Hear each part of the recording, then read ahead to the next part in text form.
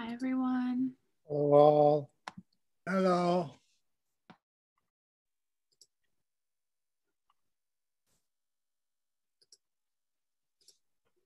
Hello, hello. Hello, hello.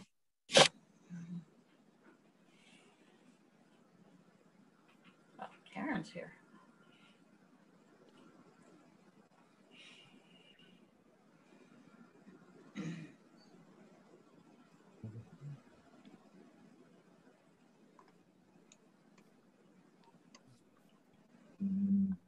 Brian, when do you need me here? That was unclear to me. There's an agenda, and uh, we'll need you here, I guess, uh, as uh, suggested by Ellen um, during the Poet Laureate update and during the biennial update, I guess. But I'm unclear as to whether when you need to be here as well. But I don't know if you have the agenda. The biennial is first, I think, and then there's 25 minutes in between. Is Karen Right, on the bi? Is, is Karen on the biennial committee? Because I just don't have that on the agenda. I have to update that. Um, I, I'd say she's on the biennial committee. Okay, Yeah, I mean, I'll update on the because agenda. of the poetry component, Okay, you know, Karen's been been coming. She's been very very busy, very active. okay. I have to just uh, let me just update that so I have that going in the future. So Uh, before we get too into the nitty gritty, I will announce that pursuant to the mayor's March 16th state of emergency declaration and Governor Baker's March 12th emergency order that modified open meeting law, the March 9th, 2021, a full year later, meeting of the Northampton Arts Council is going to be conducted using remote participation via Zoom. Um, we will have public comment during the Zoom and um, written testimony and comments can also be submitted to arts at northamptonma.gov. Um, so we do have a public comment period. Is did anyone want to participate in that, or can we? I think we're all members or already on the agenda. Okay, so public comment period has come and gone. Um, has everyone had a chance on the board to review? Hi, Eamon. Um, has everyone on the board had a chance to review the minutes that Kathy Service sent around, or that Brian sent for Kathy? Um, or that Kathy, I think you're muted. If you're Yes. They were Uh, very short. great. Mo, can I move to approve the minutes? Yeah, there was a little part in there when the conversation about the um, um, defunding the police, the Mhm. language around that seemed a little muddy. I don't know if that's a concern to anybody else, but I remember reading it and it said that uh, because said that Jesse started the conversation. I don't have it in front of me. We it wasn't mentioned that I don't know if we need to mention that there was a community person who was waiting to talk, but I think that's important. Okay. Well, I think part part of that, and I apo- I apologize, is because I wasn't told that that part of the meeting had started, and remember there was like a little thing, so that kind of got me kind of. I, have to admit that I was kind of like in a, just kind of. Kind of, I couldn't figure out what was going on at Yeah, that point when I came in, so I do apologize. But for the, for I can amend. Well, let's, let me do that right now. So, and that's why we we go through and ask. Right. It wasn't a criticism as much as just sort of going, ah, this seems a little muddy here. That's all. Yeah, no, that's okay. Uh, That's. I, I recall that the community member that was in the conversation was not waiting to speak, that they didn't want to speak. That's what they said in the chat. Okay. I just want to just, I'm just trying to have, I want to have like a group check on what happened because I was very aware of the speedy person. But I Mhm. think they were there to follow the conversation. And I think they were also there for- in support of Ashlyn. Um, and I think those were the two different uh, parts of that. We can I- change the minutes and that's fine. Is that not true? I don't know if the support the, the support must have been spontaneous because I do not know the person who was in there. Okay. Um, I don't know them personally, and I haven't had any real communication with with uh, Northampton um, Abolition um, Network either. Um, okay. So I, I, I think I recognize people in it now uh, since that meeting, and I started looking them up and figuring out what's going on. Because before any movement with that, last thing I knew was uh, just when there was movement during the summer for for that. But no, that Yeah. person was there on their own volition.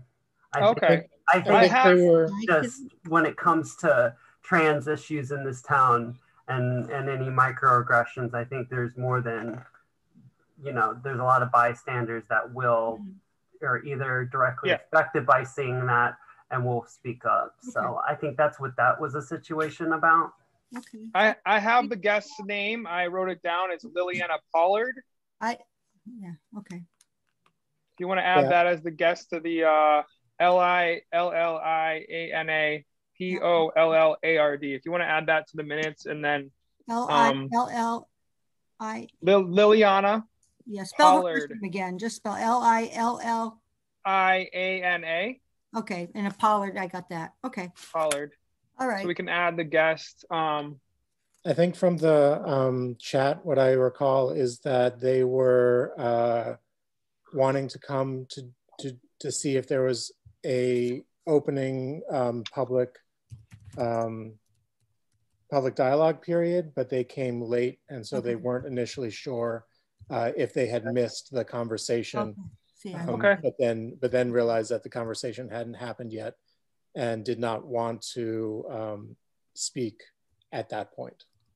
that this is good to have the group uh, the Right. group interaction because I everybody has a different perspective on that, and that's what I think. That's right, Jesse. I think you're you're really Okay. I That's too. spot on. I, I agree with Jesse. Yeah. Okay, Yeah. so, so for the sake of the minutes, let me make sure I understand. So Lilliana Pollard was the guest and they came and the purpose was, at first it was going to be speaking to speak about, or, but then they, they just ended up um, just being part of the audience and listening to the interactions, correct? Is Yeah. that They- correct? Yeah, from from what I understood, they Mhm. um, they said that they were initially interested in uh, being there for public comment. It's I'm unsure whether or not they were actually going to speak, Okay, okay. um, and but they missed it, and so they they weren't sure. And then I, I chatted to them if they wanted to speak, and they they declined to speak. That's Okay. the only interaction I know. But Okay. um, so is everybody happy with those amended minutes? So if somebody could make a motion, go ahead, Danielle. To approve the minutes as amended. Can I have a second? Um, second, Okay, Okay. all in favor? Sorry, we have to do Robert's rules. That's right. I can't, my. Uh, counterintuitive. Okay, great. So our call them Roberto's rules instead. Okay, let's go. Uh, um, good. minutes are approved. And the next thing on our agenda, we do have an update from Northampton Abolition Now. So we do have some guests in the room. Mhm. We're going to speak in about 10 minutes. But before we get there, I would like to share some proposed meeting norms that Mhm. the equity subcommittee put together ahead of this meeting.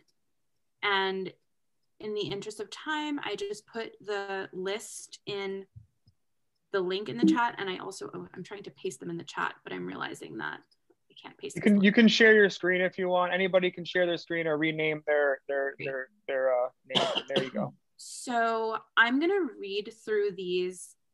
can Um, you increase the font size? Please? Yeah. Thank you. I'm going to read through these um, points out loud. And I'm going to ask that if anyone has a question or point of clarity, that, that you ask it after each point. Okay. So, proposed meeting norms that we use I statements. And that means speaking from our own experiences and perspectives and not speaking for groups or others, whether we are a member of that group or not. Questions about that rule? Guideline? Great. Um, assume good intentions, which is um, a really generous rule that we'll kind of have with one another. But it also means that if we are assuming good intentions, everyone has to be really aware of their own personal privileges and biases. right? So it's a gift to be to to be met with the assumption of good intention, and we all kind of have to honor that by being aware of of where um, where we are with that. Questions about good in, that point number two. Okay, point number three is to try to call in, not out which means that we want to try to point out problems. It's like we have to point out problems when we see them, but we want to try to point them out in ways that will empower people to be a part of the solution and not necessarily um, be shamed. Questions about that? Okay. The next one is to recognize intention versus impact. So that's a little bit of a tricky one. I think a lot of times we may not intend to be harmful, but the impact of our words can be harmful. So, can we reverse recognize impact versus intention? Great. Because it's the impact more than the intention, right?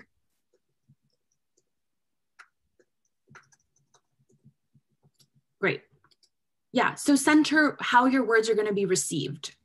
Thank you. That's a great point, Kent. This is why we have our ODI trainer on the board. and then Kent also shared this document of how to apologize. So I believe this, this list was circulated in advance. We will share this again, but I'm gonna ask that everyone on the board makes time to read this ahead of our next meeting if you have not done so already. Kent, do you, do you feel comfortable giving a quick overview of, of what this document will teach us? Um, yeah, I wish I had known this before. Uh, can you, again, the, the font size is so tiny. Than this, my is, this is your document that you had yeah. shared about how to, yeah. Yeah, basically, I mean, I just, I mean, I got eight million doc. I never remember anything anymore. I'm feeble-minded. Uh, basically, I'm sorry is not a deep enough apology. That the goal of these steps is to be accountable and thorough, but at the same time, to realize that we can hurt one another and that that's not our intention. So, what this is a way of having folks understanding how to take responsibility for their actions so that by genuine by genuinely apologizing that it moves you towards a deeper relationship in a nutshell. How about that?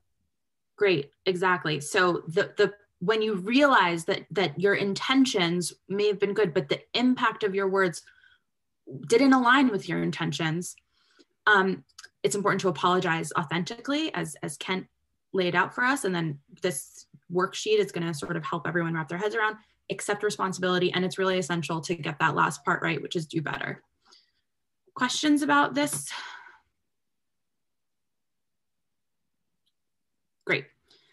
The next um, guideline is to lean into discomfort. And when we're feeling uncomfortable, to try to um, see that as an opportunity for growth and learning, uh, not necessarily a, an opportunity to shut down, not an opportunity to um, be defensive, but really like see that as a learning opportunity. Questions? Okay. Um, the next point is to respect people's pronouns and gender identity. Mm-hmm. Um, we really on this board cannot assume anyone's pronouns. And if we're unsure, it is really okay to ask, and it's really okay to default to they or to not use pronouns. Questions about this? Okay. The next one is stories stay, lessons leave. This is one of my favorite um, guidelines. It's sort of interesting because we are, oh, sorry, Ashlyn, did you have a, your hand is up? Yeah, just one thing about, um, I, this is definitely like a great start and a good place to be. But I think also um, using, um, like for, for example, for myself, for my situation, like people already know my pronouns, they know it's she, her. So if someone started to just immediately start using they, like as a way to not be able to use she, her, that is more of a microaggression. Um, because it's just known and I've been at the meetings. And that's just like an example of that, like where, where it's already assumed. Um, but uh, yeah, using they sounds like a good default. And we um, make a simple request that everybody puts their preferred pronouns after their name in the um, on Zoom so that at any point, if we have any questions internally, we can double check the person's name before uh, misusing, um, before using the incorrect pronouns. I just changed it to if you feel comfortable, please add your pronouns to your Zoom name in case folks don't want to share their pronouns. But yeah, I think it's a best practice that that would be make it really easy for us all to honor people's pronouns. And the way to do that is to click the three little dots that are um, they're white dots in a blue box in the upper right hand corner of your um, video screen and then you'll be able to click the button that says rename and you can just write your your name your pronouns um, as many have folks have already done. Okay.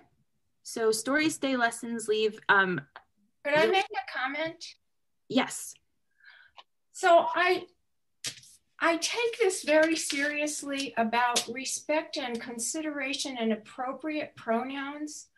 But as an older person, I would ask that the younger people for whose generation this is a major issue. It's certainly a major issue for the older people too. But I think if someone makes a mistake, because I might, it's all these years of living one way and with all the best intention and without wanting negative impact, I could make a mistake and I wouldn't want to be denigrated over it. It's just a mistake. There's a learning curve here. And I think we should all be very understanding about that. All right. Can- Lori, I thank you so much for sharing that. I think our assume good intentions is is gonna set the stage for that. And when there is a mistake, it's just important to have that acknowledgement. Of course. Right. So so I, I hope that the earlier um, guidelines make make that possible, right? Like we all make mistakes. It's important for all of us to acknowledge those mistakes, apologize sincerely, and really try and move on and, and do better. So what I'm hearing is that it's a little bit scary and it might be a little uncomfortable. And I'm hoping that we can like lean into that discomfort as a potential learning mode and meet each other with kindness and and grace and support. I don't know about scary. It's just new. It's a new language. You know let's know. learn chinese. So this is a new language. Great. I love new languages but give me a minute. That's all. That's all i'm saying. Yeah i i hear you and i think our intention is to be kind, as we say, to respect, but at the same time, these transitions are important because what we see is that they've caused harm in the past. And so for me, Absolutely. no, no, Lori, may I finish, please? I was agreeing with you. Please finish. Okay. Thank you.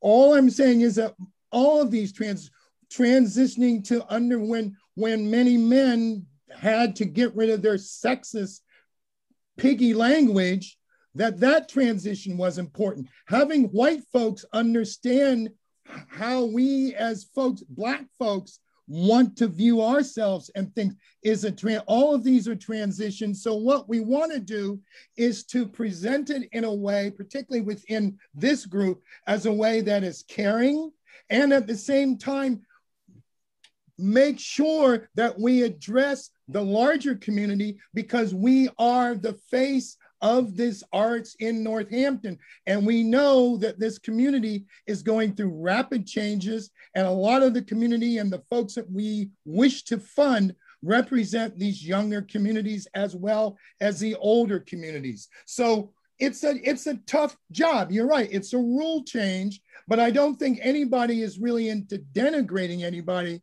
And that word is to me a little difficult, more than it can be difficult. And you're right. And so what we want to do is caringly nudge those mistakes out of the way so that we can create a more harmonious time for everybody, right? Of course. Okay. I didn't say anything other than that. Thank, thank you both. I, I just want to be mindful of time since we do have guest speakers. I think that that we're on our way to being on the same page. Um, and I want to get us through the rest of our rules and have a collective acknowledgement of them and give people space to add on if there are any others they want to add. So stories stay lessons lead. The idea is that, I mean, this meeting is being recorded, which I think I forgot to mention at the top. This meeting is being recorded and will be posted on Zoom. But the idea is that we respect people's confidentiality in this space. Um, and I think that will especially apply to subcommittees. You can take your things that you learn from our time together with you and let that inform other experiences. But the idea is to be respectful of confidentiality. Um, remain open to feedback. So when someone is calling you in, think about it as a gift and a learning opportunity. And anytime you're calling someone in, you want to treat it as though you're giving someone a gift. We're operating with kindness and compassion. Um, we want to be mindful of airtime. If you've spoken a lot or you see someone is quiet, um, maybe make space for them um, and be mindful of any kind of privileged identities that you hold that make it easy for you to speak up, that might make it harder for others to speak up. And we want to set clear boundaries and consequences as a team. So what happens when these, these guidelines, when these rules are repeatedly not followed? Well, that's something that as a group, we're gonna have to keep discussing and thinking about together. But I just wanna set the intention out there that we are mindful of these, these guidelines um, and ask folks if they have any amendments or other things that they'd like to consider. And as a, as a team, we will continue to think about what those boundaries and consequences might look like. We don't really have them yet, um, but that's for a future, future conversation. So any amendments or additions to this list? Okay. Say thank you. That was well, well, well presented. Great. Thank you. Um, so uh, now that we have our intentions for norms moving forward, we can put them into practice as we welcome um, our first uh, update. So this is not the, we have not opened the municipal meeting yet. We are having an update from Northampton Abolition Now. Um, so I'm gonna hand the platform over to Yaping Douglas and just share that um, in advance of this meeting, Freeman and many others on the board, thank you all for your work pulling together questions that we pre-submit to NAN. Um, Dana and um, um, Jesse, and I'm not, did any, who else worked on that question list? Well, thank you for, for your work pulling those questions together. We sent those to Yaping ahead of time and she graciously answered them. I emailed everyone those written responses ahead of the meeting. You can follow along there or um, you can read them after the meeting. But without further ado, Yaping, feel free to um, take the mic. Okay, hi. Um, hi, everyone. Thanks for having us here. My name's Yaping. I use she, her pronouns. Nice to meet you all on my computer screen. Um, yeah, so I'm here tonight with a few other members from NAN. There's Rye and Lil and Robert here. Um, so we might all chime in. Um, so we were thinking we could, um, well, actually, we could start by showing you um, some a, a, sort of piece of uh, art that came out of a Valentine's Day event we did two weeks ago. Um, I'm just gonna get it to show you. Um, so this is a giant Valentine's Day card. Um, and then inside, there's a, a prompt that says, what would you do? I don't know if you can see it with $16,522 a day for your community, um, because that's how much the Northampton police get per day. Um, and so we, we set up in Pulaski Park and Um, we had a game for people to play that was about visioning the Northampton that they wanted. We had three of these gigantic cards. One of them we dropped off for the mayor, and these other two were figuring out what to do with and how to um, involve the community more in filling them out. But basically, people came by and filled out what they would want to do with $16,522 a day for their community. We had another, some other prompts like, what does community safety look like to you? And um, people wrote a whole range of things that you can imagine, maybe as your gears are going right now, of what you would do with $16,522 a day. Um, you know, there was feed everyone, housing, um, education, um, climate justice, peer led mental health support, um, the whole range. Um, I looked at the cards again today and I didn't see a lot of people write down arts and culture, um, culture things, even though I think in NAN, we, um, NAN for Northampton Abolition now, we do think about that a lot as imagination is such a central um, thing that I think a concept that we're focused on and that I think we we've been learning about since all of us have been learning more about what abolition really means since the summer. And so, so yeah, I wanted to give you a, a little peek at what we did on Valentine's Day a few weeks ago.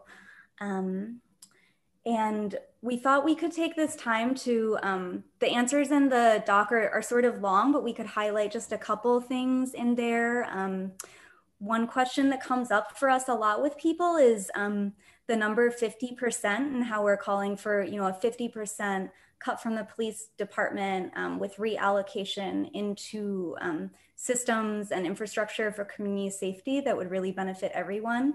And one thing we wanted to make very clear to everyone is that we know that this change can't happen literally overnight and that um, all of the activist groups and organizers across the country that are calling for what feel like bold changes to some of us who might not be used to thinking about these kinds of changes um, all, all of us are committed know know that it's an intentional careful process and that no one is proposing that um, the emergency services that police currently fill would just be absent for any amount of time. That's not the the world we're proposing or wanting to create. Um, it's that it's um, yes you can spot. Oh okay. Um, that um, what, what we're calling for is looking at the responsibilities that police currently hold and which ones they're really not suited for given their history as coming out of um, slave catching and um, protecting land stolen from indigenous people and union busting. And if you look at the history of policing throughout time, you, you know, there's clear trends of always suppressing social movements and controlling poor and working class people. And so given that it's an institution with these roots um, and sort of charged with being the enforcers of a, a lot of racist laws, um, we a lot of you know for over 150 years people have been calling for investment into areas that would really help people and support people and so what we're asking for is that, um, for instance, mental health be taken out of police and given to um, people who are really equipped to respond to mental health crises, which in Northampton, there's a really amazing organization called the Wildflower Alliance that does peer led mental health response. Um, there's a really amazing harm reduction organization called HRH 413 that hires people with lived experience of um, dealing with addiction and drug use to respond to crisis um, crises that have to do with drug use. And they have harm reduction support groups. Um, there's a group called um, Touch the Sky that does support for houseless people and houseless people are involved in the actual organizing of Touch the Sky and they um, all sort of work their butts off raising money for houseless people themselves because sometimes the grants are so hard to come by or support from social services takes so long. And so these are the kinds of things that we're um, calling to be invested in more um, instead of instead of policing, which which isn't really suited to to support people in these real ways. Um, and the way that we're um, what we're asking for is that these other things be funded um, and not for instance, if police are responding to um, to traffic accidents, that we, we wouldn't want no one to be able to respond to a traffic accident. Um, we would want city leaders to figure out how um, how other emergency responders who are not police could be supported to respond to traffic accidents. So then police responsibilities could be taken away as the roles that they were previously filling could be filled by people who are more suited to the response. Um, I just talked a bunch. I'm wondering if, I don't know how much time we have left, if people want to respond with a question or comment that's maybe on your mind. We have we have five minutes. I had a timer for eight and it hasn't gone off yet. So sure, we can open it up to board members if there are any particular questions that you want to hear answered in this setting.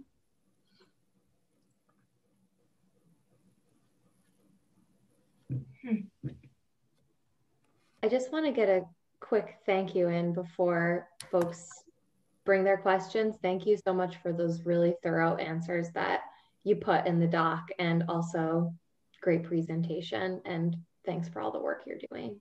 We really appreciate having you here. Thanks. Thank you too. I extend that thanks. And um, I just maybe if you could just share really briefly, Yaping or Ray or someone else, why you are personally doing this. Why are you personally invested in this transition, this important transition? I want to see whether someone else from NAN maybe wants to talk.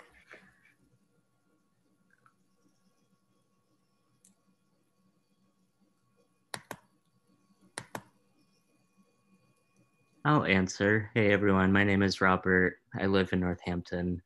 Um, I've been involved in prison abolition work in the past. Um, I originally kind of became interested in the idea actually while I was an intern at AP Gallery in Northampton. Um, Phyllis Kornfeld had donated a bunch of uh, artwork made by incarcerated people to the gallery. Um, I think it's been shown a couple of times since then. And I remember when I was uh, handling that artwork and feeling it, feeling the paper, touching it, just how the connection to people on the inside, like I had never experienced that before, um, or even really thought about like who was in prison. Um, and so that kind of picked my interest in prison abolition. Um, I've mostly volunteered with organizations like Black and Pink, um, specifically looks at queer incarcerated people and the Mass Bail Fund. Um, and so I've had this long running interest in it, um, but it wasn't until this summer when George Floyd was murdered and the uprisings began that I really got back into it. And um, yeah, and I guess right now, I guess that's all I'll say for now. Thank you. I just wanted to, to just point out, I do have from Phyllis Cornwell way up on the wall there. You're muted. Up on the wall I, that I bought through Phyllis Cornwell, Cornwell from paintings from somebody from jail. And it's been up on in my living room for years here. So I, I know what you're talking about and that's beautiful. So thank you. We have about two minutes left. Is there one more question that anyone from the board would like to pose?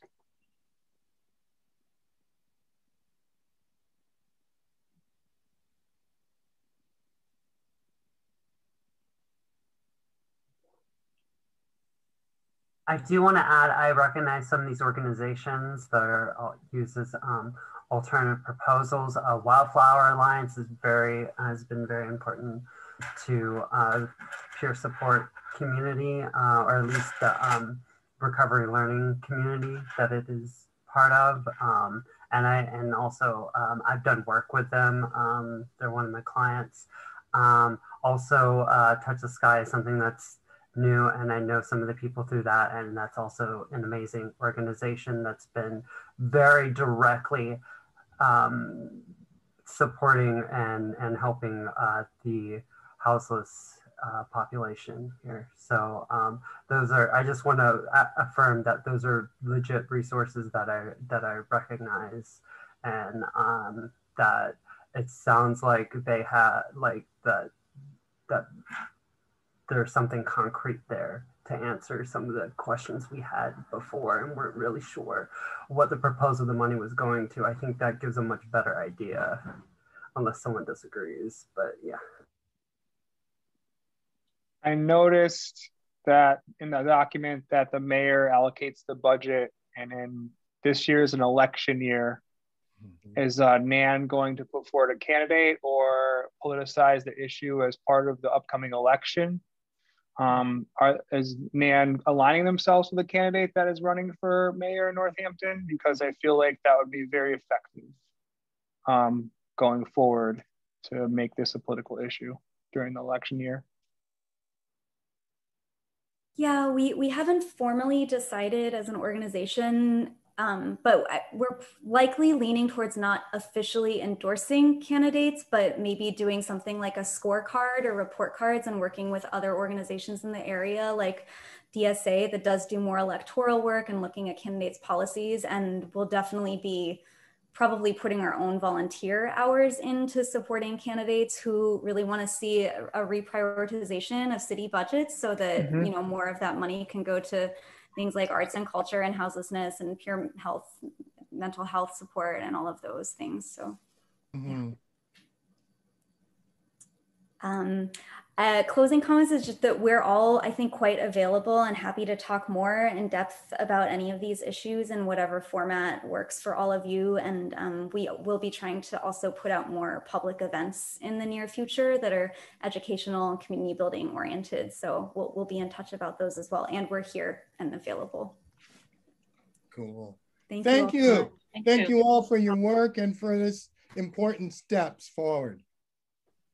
Thank you. Thank you so much. Thank you. Thanks, everyone. Thank you. Thank So- y'all for coming. Sorry. Okay, Oh, I was just thanking them too. Sorry. great.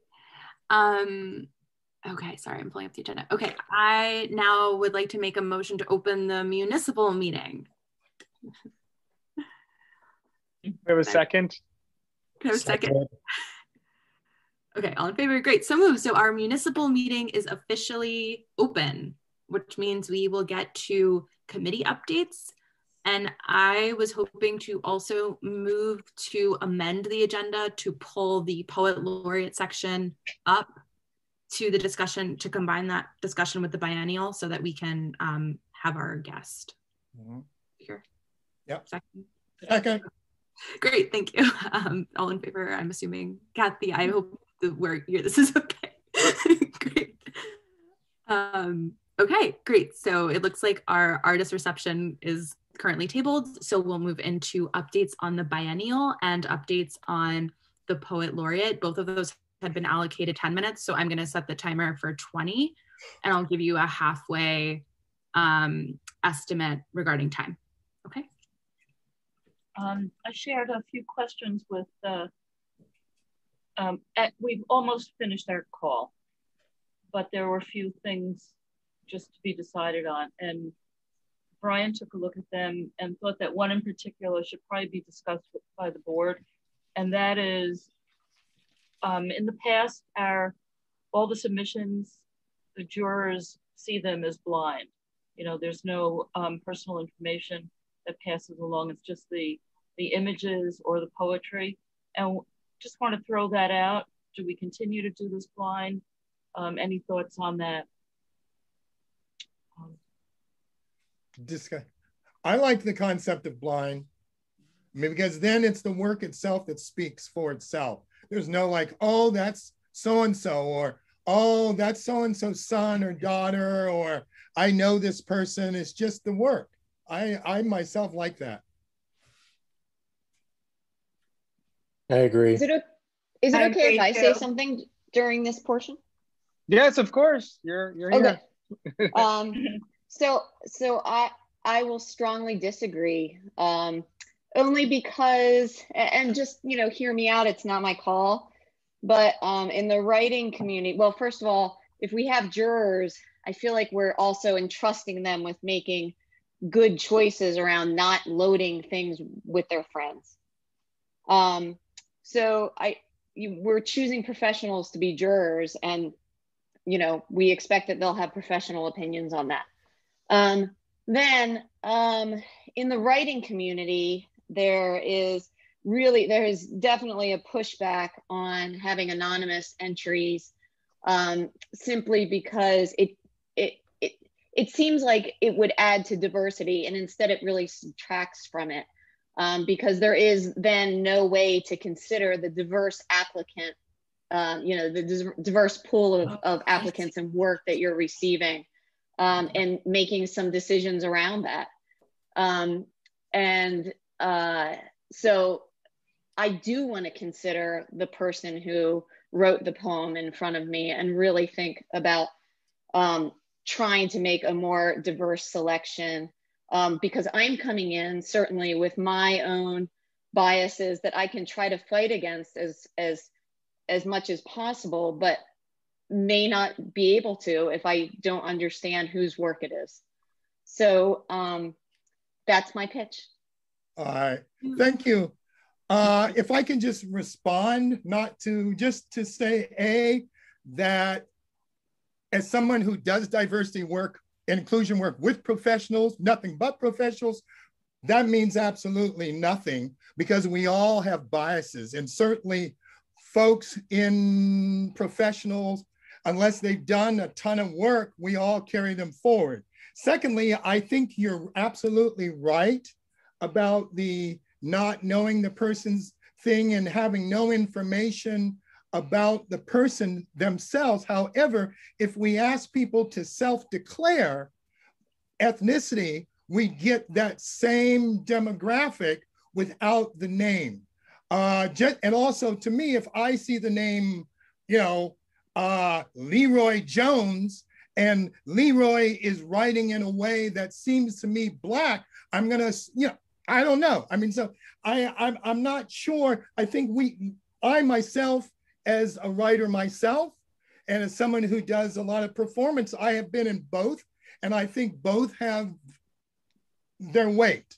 I just think that particularly for young people, I, I'm not sure of the benefit, but I'm just arguing for this. But uh, if we decide against it, that's okay with me. I'm, I'm, I'm not holding, uh, you know, my any of my feet to the fire. I, I just do think that just being a professional doesn't mean you have biases. It just means that you've got money to do what you do. Go ahead, Ellen. Could visual art and poetry be handled differently? Mm. I, I think that's a good question. Mm. I Um, would go ahead. I would advocate for one set of guidelines. Um, because I would just advocate for one set of guidelines for consistency, but I think that it's possible to do both. I think it's possible to do um, to ask people to self-disclose. I think it's also possible to ask for an artist statement, Mhm. um, especially um, with with a lead-in statement saying, you know, just sharing our equity statement Mhm. and say that we would love to hear about how your lived experience informs your artistic practice that'll help us making the decision. And and that'll that's a way for people to talk about all aspects of themselves that they want to if they want to. And if they don't then that's fine too. They don't have to. Um, but that might be a way to get at some of the the information that will help the jurors make an informed decision um, it might be too difficult to do it at this scale, but you could also look at the way college admissions essentially offers, where you try to ensure, and certain hiring practices, Right. where you want to ensure that your outreach is at the level where the number of um, applicants from particular identities reflects percentages of your audience that you serve or your population, which is means it's a lot of work on us to make sure that we're doing the right kind of outreach that people do apply to be considered.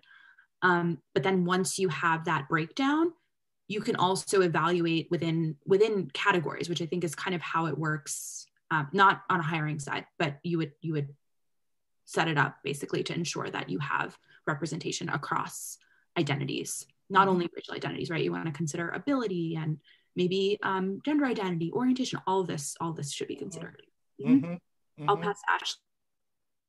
Yeah, um, could, could we write down maybe in the minutes that question you just asked? Because um, I think that sounds like a good idea. Like even if we need a workshop, it sounds like a good start. It sounds, um, from my own experience, something that seems open ended that someone my demographic could answer. So and um, yeah, so if we want, I I think that that might be a good place to start with that question.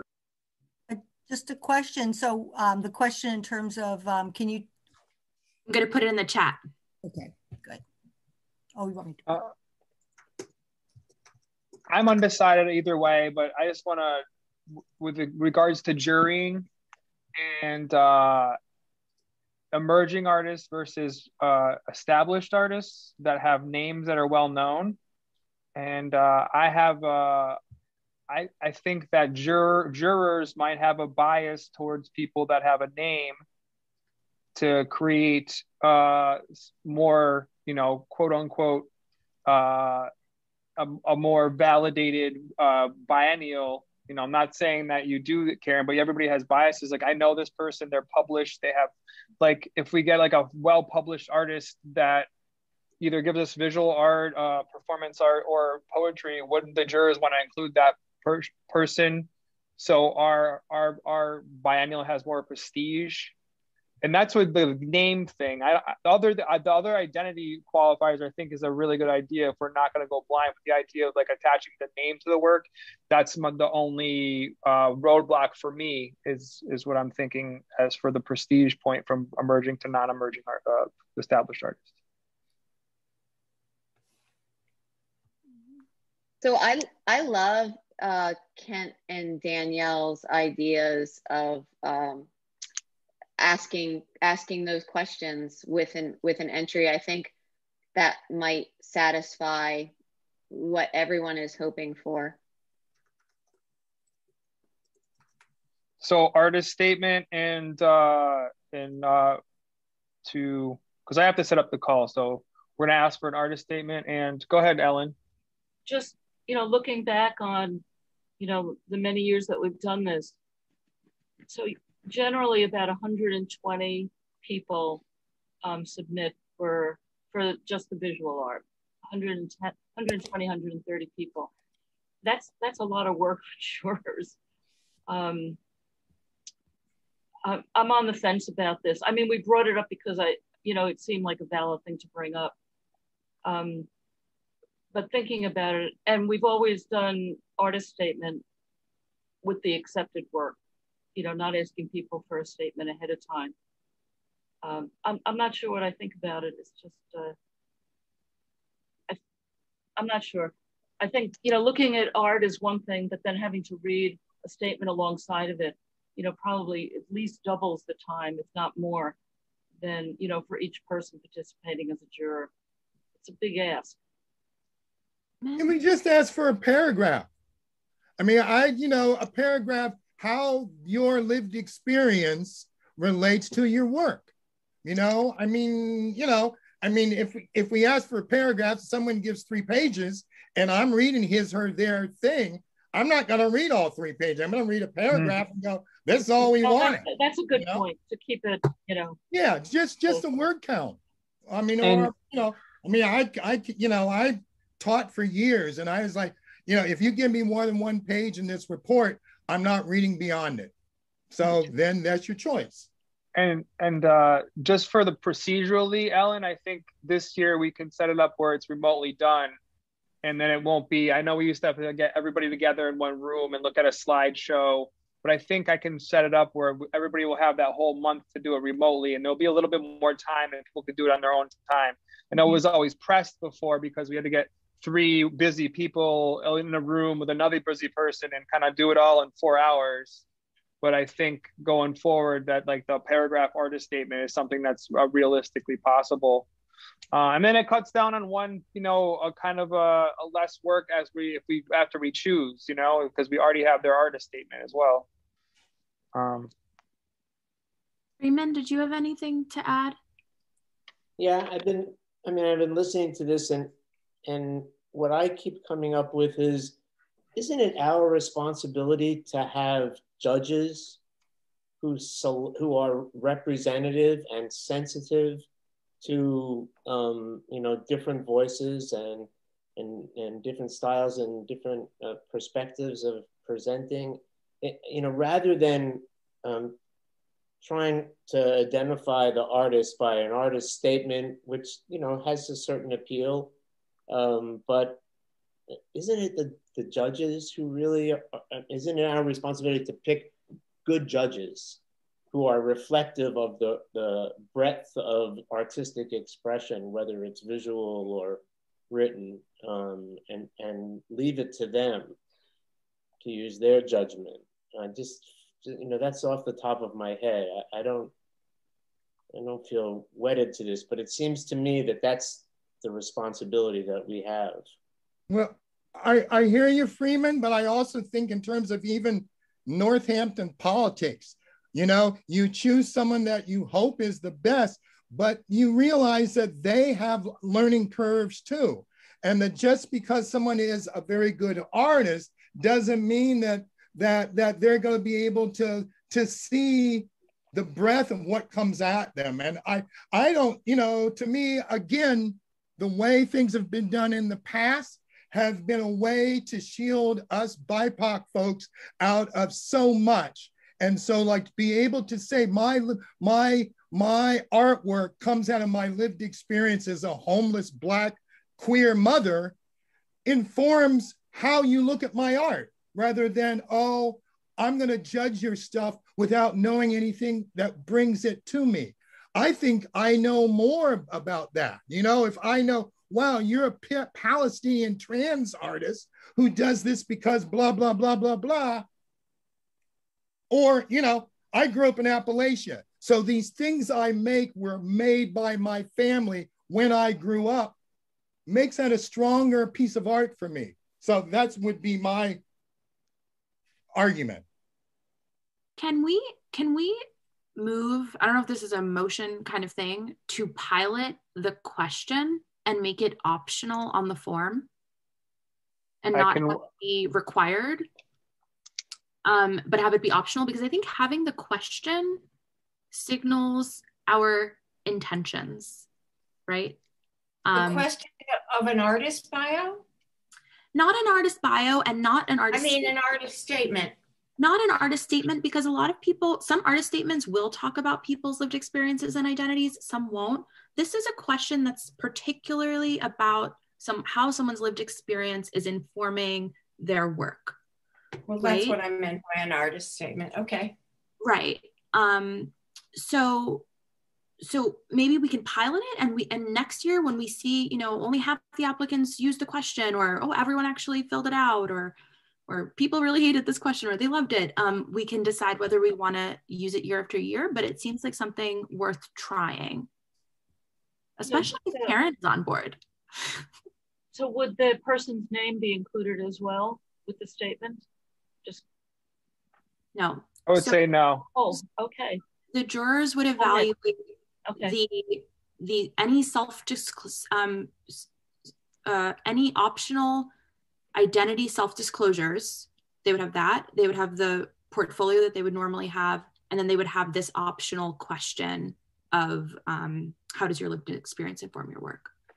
Okay, I'll write that down. Right. That's good.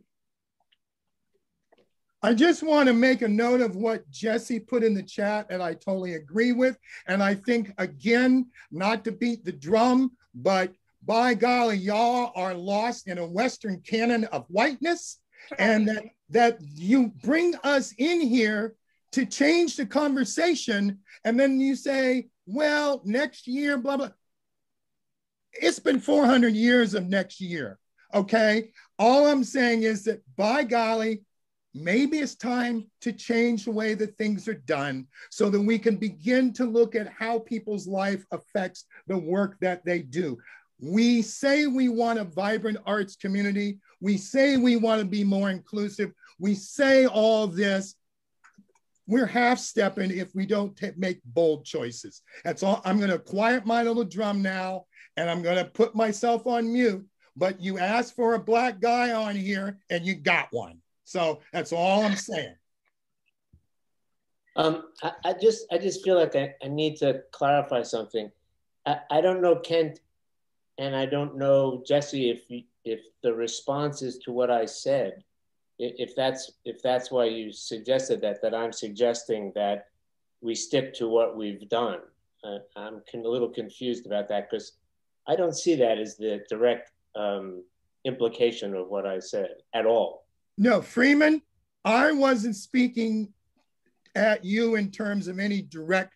I took what you said and I gave them response. What I'm speaking to is my antenna as a person of color in a room full of mostly white folks who are really dragging their feet around some of these important changes. If the shoe fits, please don't put it on. Keep it aside. This is not, I'm not aiming at you. I'm trying to, to bring in what to me is an understanding of how it feels to constantly sit on the outside of things and go, oh, okay, we'll wait till next year. Oh, we're going to get this. Oh, yeah. Well, you know, the way we do things in the past, you know, this is a public meeting, so I'm I'm watching my mouth, but let's just say frog that, you know? I mean, this is like change is overdue. And the way we look to art in this community is overdue, right? It's just time. And so I'm sorry that I'm so adamant. I'm an I'm an artist and I just see we're stuck. And I, I, I'm sorry, I, but it's not personal, Freeman. This was not aimed at you. I think I suggested piloting, and I think piloting sometimes is a very um, easy way to step into change. Um, so I'll move that we do it this year and um, evaluate if we need to in the future. Um, but it, I don't think it's actually my decision. I do want to point out, thank you everyone for the feedback and conversation. We we are about 15 minutes into our 20 minute allotment. I want to make sure we spend time talking about the Youth Poet Laureate. So Ellen, Karen, do you want to share more about that part of the program? And Karen can pick up.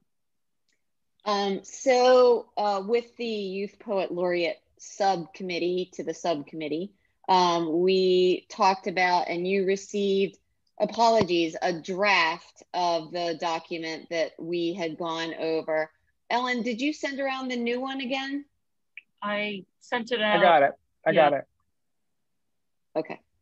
I don't know if everyone has it, but there is an updated one that didn't include our notes from when we last met. Great. Okay. So um, the things that we were talking about doing, and I don't know how much of this has been presented to the committee, but we're really excited to have um, for the idea of a youth poet laureate position. I don't know if like you all need to, you know, vote on such a thing or um, other things to, to move forward. But so we were thinking um, a person um, of, who is 13 to 18 must be a senior or younger for the 2021-2022 academic year. Northampton, Florence, and Leeds resident for at least this first one. Um, and you know, someone who loves poetry, and we and we were re- definitely thinking, how do we get as many people interested in applying as we can?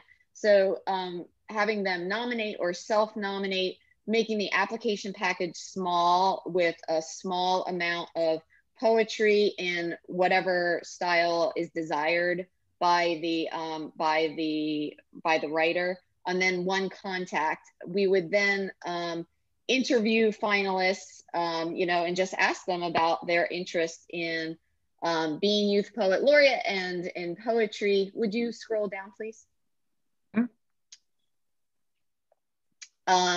And making the responsibilities hopefully light, um, starting with a one year term, um, promoting poetry within the school or homeschool community and beyond into our broader community. Um, and then designing and completing one community or school based um, poetry project. And then this, this part is, is actually kind of easy is get is also involving the youth poet laureate in two community poetry readings or performances um, and possibly reading at occasional northampton arts council events um, and then other then we thought well what are the fun things that we could do um, you know is it is the possibility of a stipend or scholarship you know, getting a free, like a free membership to the Emily Dickinson Museum or time in the Emily Dickinson bedroom to write.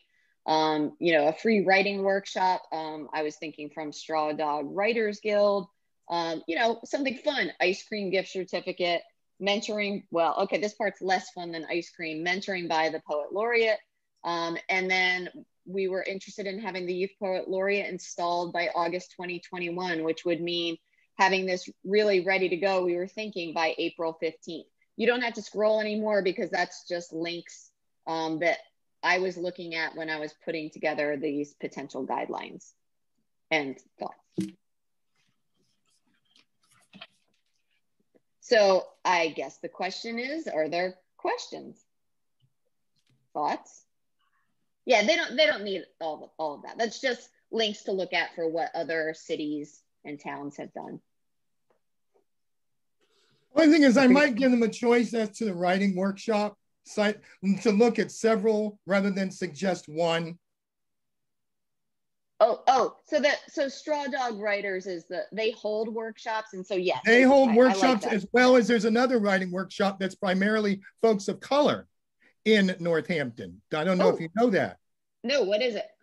uh, I'll have to look. It's um, I have to look at the name. I'm I'm uh, a cannabis head, so I don't. But anyway, they're there. It's run by uh, what's his last name? Sparks. Is it um Barry? My huh? Barry Sparks? No. Oh, it's on my computer and I'm on my computer. So anyway, I'll look it up and put it, but to give that person a choice uh, so that if it's a young poet, he, she, they can choose, oh, I, I like where they go and they, they can look at their sites and go, I take, I think both would offer and, and it might be more easier for a young person of color. I know I went to Straw Dogs and found it a little off-putting myself. So Charlie, I look at it. So uh, that would be that would that would be great, and it would just be require reaching out and you know asking if these organizations would be interested in in donating. Yes. How about we just offer them a stipend and they can make their own decisions with it? I like that too. Yeah. We just give them money and they can do whatever they want with it. Yeah. Help them with their college applications. You know, they can buy a PlayStation 5, whatever they want. You know, it's just give them some money because that's what we should do. PlayStation Um, I- 5 is probably where it would go. Maybe not.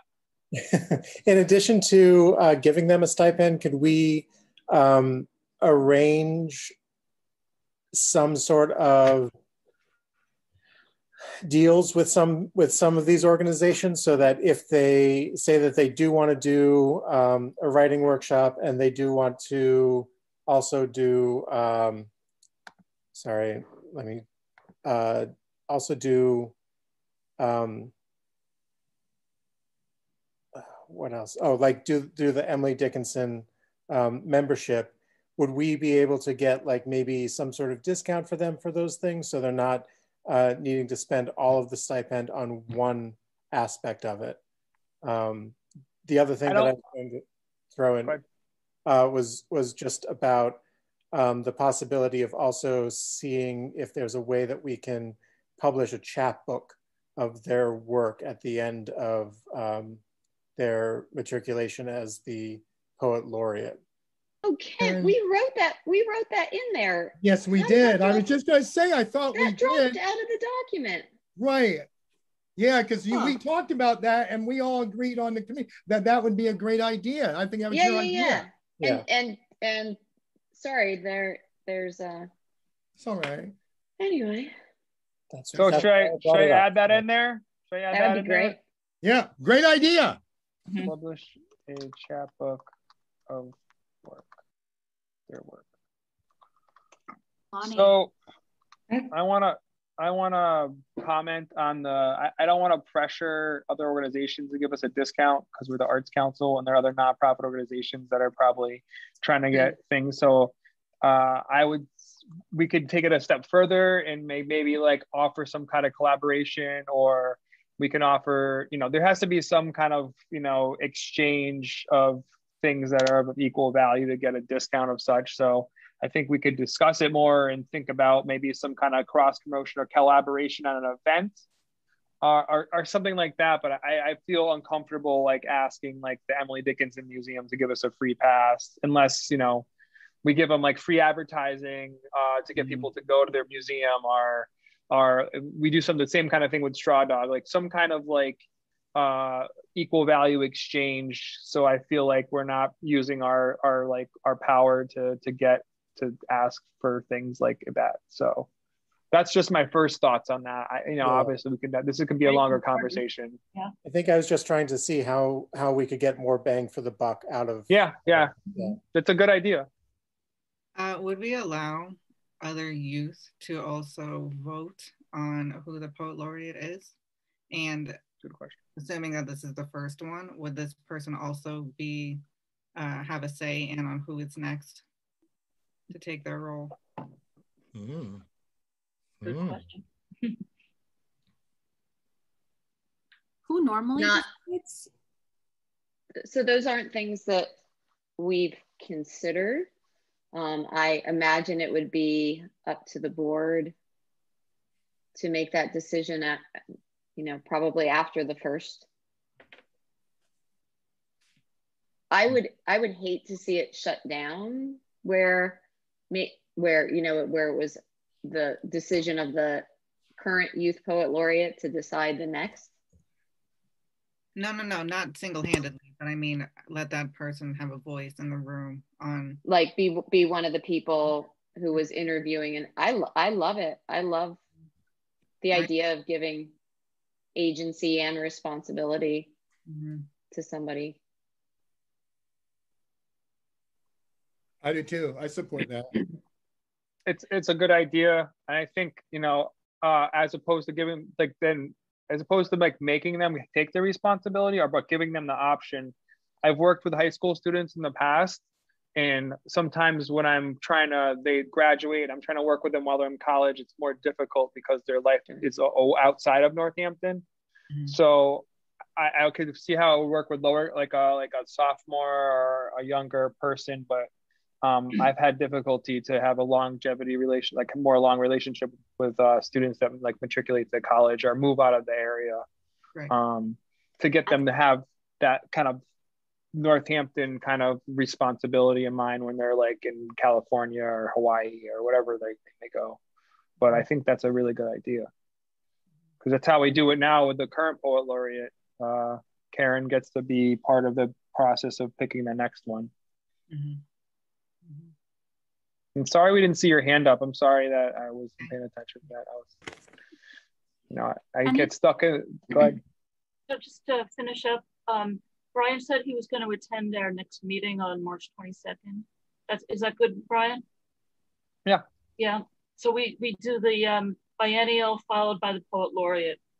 They, they usually were under, you know, an hour and a half or so. And, um, and I guess we can uh, finalize these calls. I, I, I, I, I like the option, the option, the having the optional information on the, so for people to self-identify if they want or not. Kent, do you feel like that is, uh, I think it should be optional. okay. I, Yeah. I, that's, yeah. Yeah, I wouldn't force anybody to self-identify, but I do think that most BIPOC people are willing to do so. Mhm. So So I, I think so. What I have as notes right now, and we can. Uh, I, I feel like there's a little bit of a consensus over the board is um, self-identify, and then have an optional question that's optional, and then another optional question: How does your lived experience inform your work? Um, is that how how where we landed? Is that like a pretty decent like optional questions for the upcoming biennial? Do we feel that? Go, go ahead, Ellen. What about just asking for, pro, you know, pronouns or I think we should absolutely on the Google form have people, if they choose to disclose their pronouns, include their pronouns because it'll It's help. not a Google. It's not a. Sorry to interrupt you, Danielle, but it's not a Google form. We're using artcall.org, and uh, I'll figure out if there's like a drop down menu, but it, it's a little bit more uh, difficult than the Google form. Yeah. Uh, useful to have if people want to disclose because it'll inform how you write a press release, right? Like that's just useful information for us to always have if we can.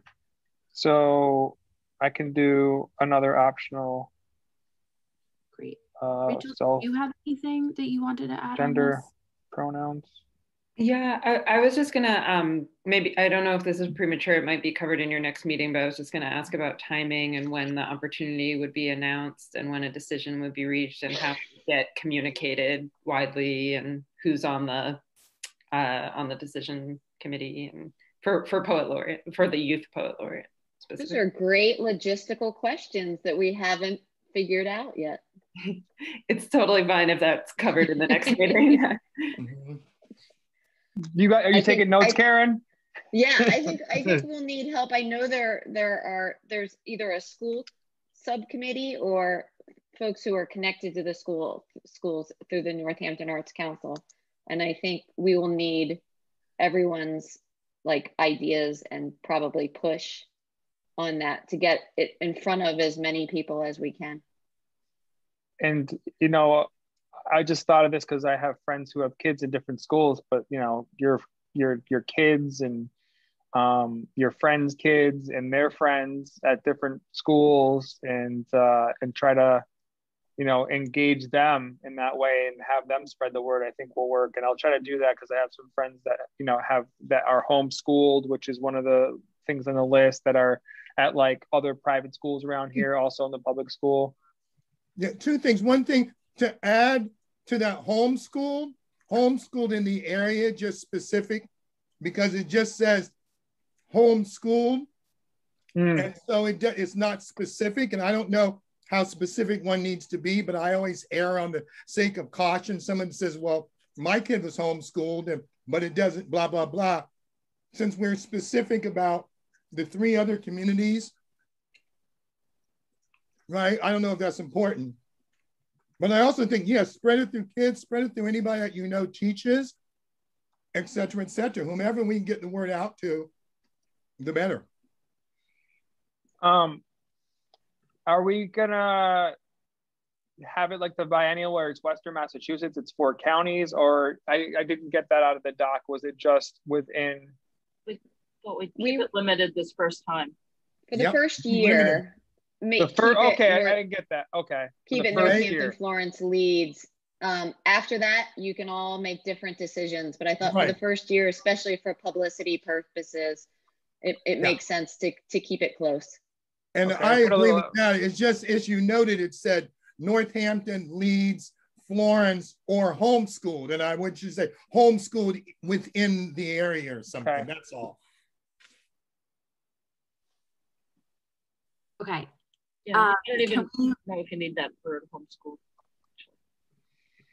Um, yeah, that's in the doc. Well, that looks solid because we just, you know, when we, we do like calls, because uh, we look at the greater community regionally, usually for like the poet laureate and the biennial. So I was thinking, but I, I like the idea of like for the first one, we we pick a, a hometown hero or whatever, something like that. We and it keeps us focused.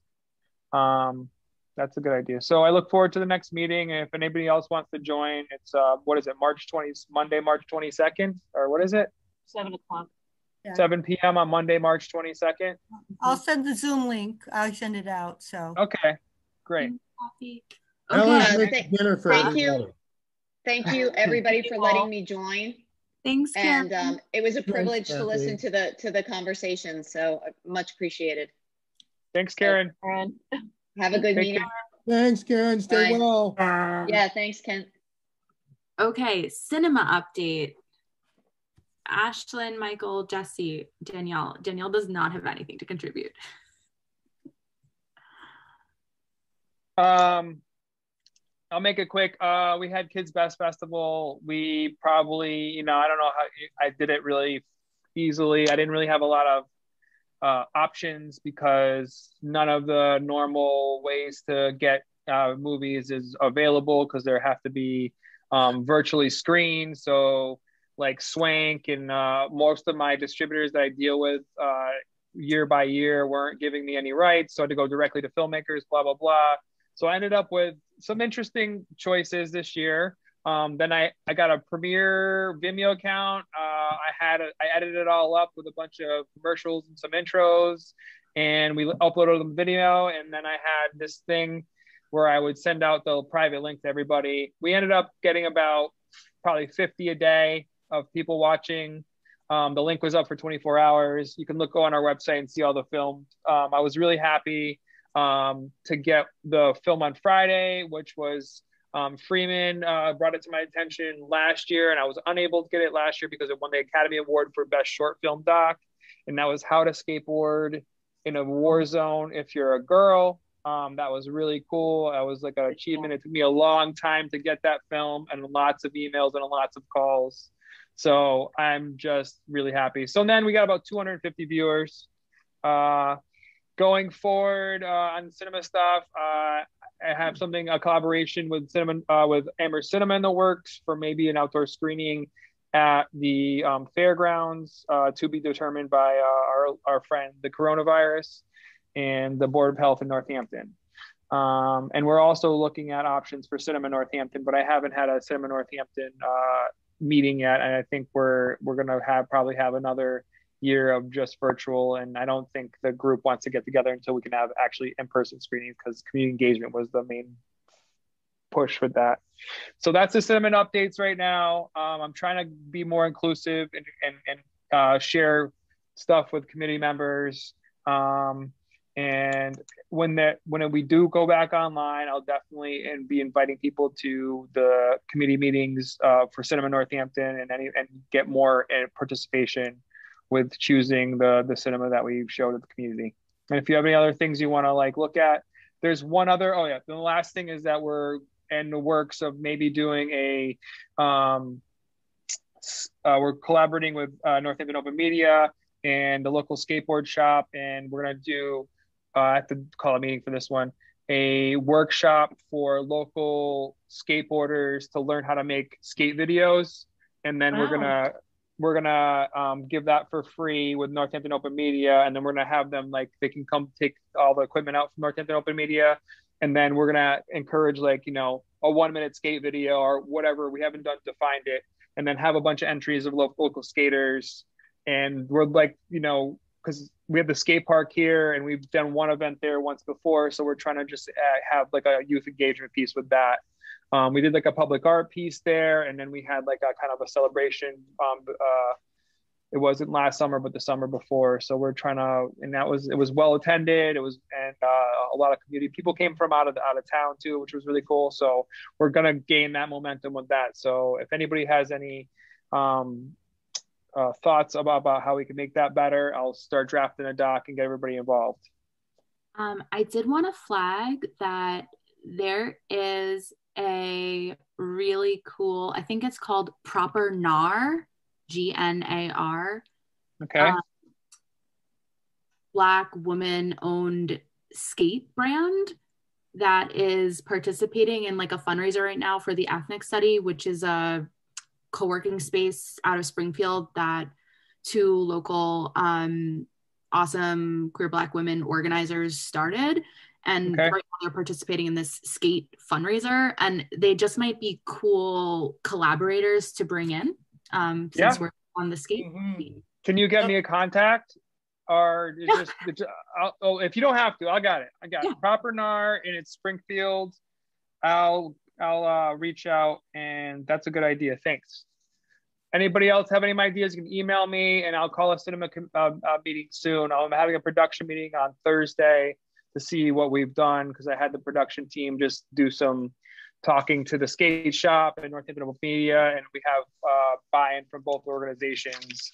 But you know, everything I want to have like a big screen at the skate park and show all the films there, kind of at night type of thing. But again, we got coronavirus, and we can do it virtually again, which is fine, but it won't have the same impact as I'm trying to do. Is that to to like get i want to get younger people and community members all around that skate park so there's like a kind of a demystification of like that community because i feel like it's identified sometimes as negative so Yeah, and that community is one of the more inclusive communities yes uh, around. So that's the other cool thing about it. They're already the community all, all already rocks. Yeah, that's my like park. I like live a minute from it, and I play basketball there, and I love. uh, yeah, so maybe there's some self interest, but I don't care. cool. Yeah. So uh, that's it for cinnamon updates for now. Um, let me know if you have any uh, questions about that, and I look forward to hearing from everybody on the committee. Um, Um, okay, so next on our agenda, we have um, our equity committee update. Um, so our equity committee had our first meeting a couple of weeks ago, and an update that I'll share is that we're going to be having um, meetings one week after every board meeting. So we're going to have monthly meetings after our board meeting. So they'll be on the Tuesday following our board meeting at seven, so same time, in case people want to um, join in that. Um, would anyone on the committee like to share what we discussed at our last subcommittee session?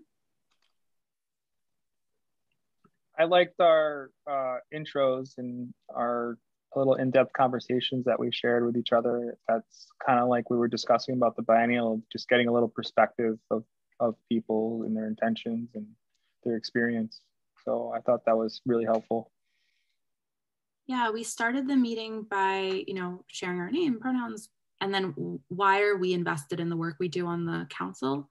And I think ideally it would be great to do that with all of our board members. Um, uh, we are going to be doing a series of team building trainings around the board to get everyone on the same page with kind of like best practices in equity and inclusion. And I think the goal is that we do congeal a little bit more as a, as a team because we work together and support each other. Um, and those things go hand in hand. So hopefully that'll come as part of those conversations, which um, Brian, have you heard, have Ryan and Kent, have you kind of, you had identified Kent two potential presenters. Do we have an update on whether those folks are going to be our Yeah, I, I do have an update on that. Um, Ange is out. She's in Florida. They are in Florida uh, for a while, and they're pretty swamped with stuff. They also, because I decided I don't want to do this as a part of the board, I think I'd much rather fully participate than than than to be involved in doing training. And therefore, they said no. Um, I contacted another woman, and she said that she was not. I do have a contact of a person I just got earlier today um, um, that I was going to pass to Brian to, to get his take on it.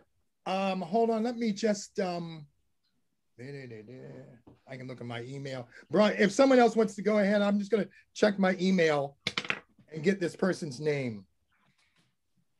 if we're if we're having a hard time with trainers because people aren't available and i know like every equity trainer is really really really busy right now Mhm. um, we're not the only person asking No, we're not. asking for this um, there are folks that i um, that i work with who do tradings for the for the college and and that world that are i think really great so Okay. martin is the director of the queer resource center at amherst college and they are kind of a wonderful human and um, could definitely um, be be a part of that and then um, gabe hall i believe is the associate director of equity and inclusion at um, Mhm. Holyoke College, and he is um, another really great I programmatic. like.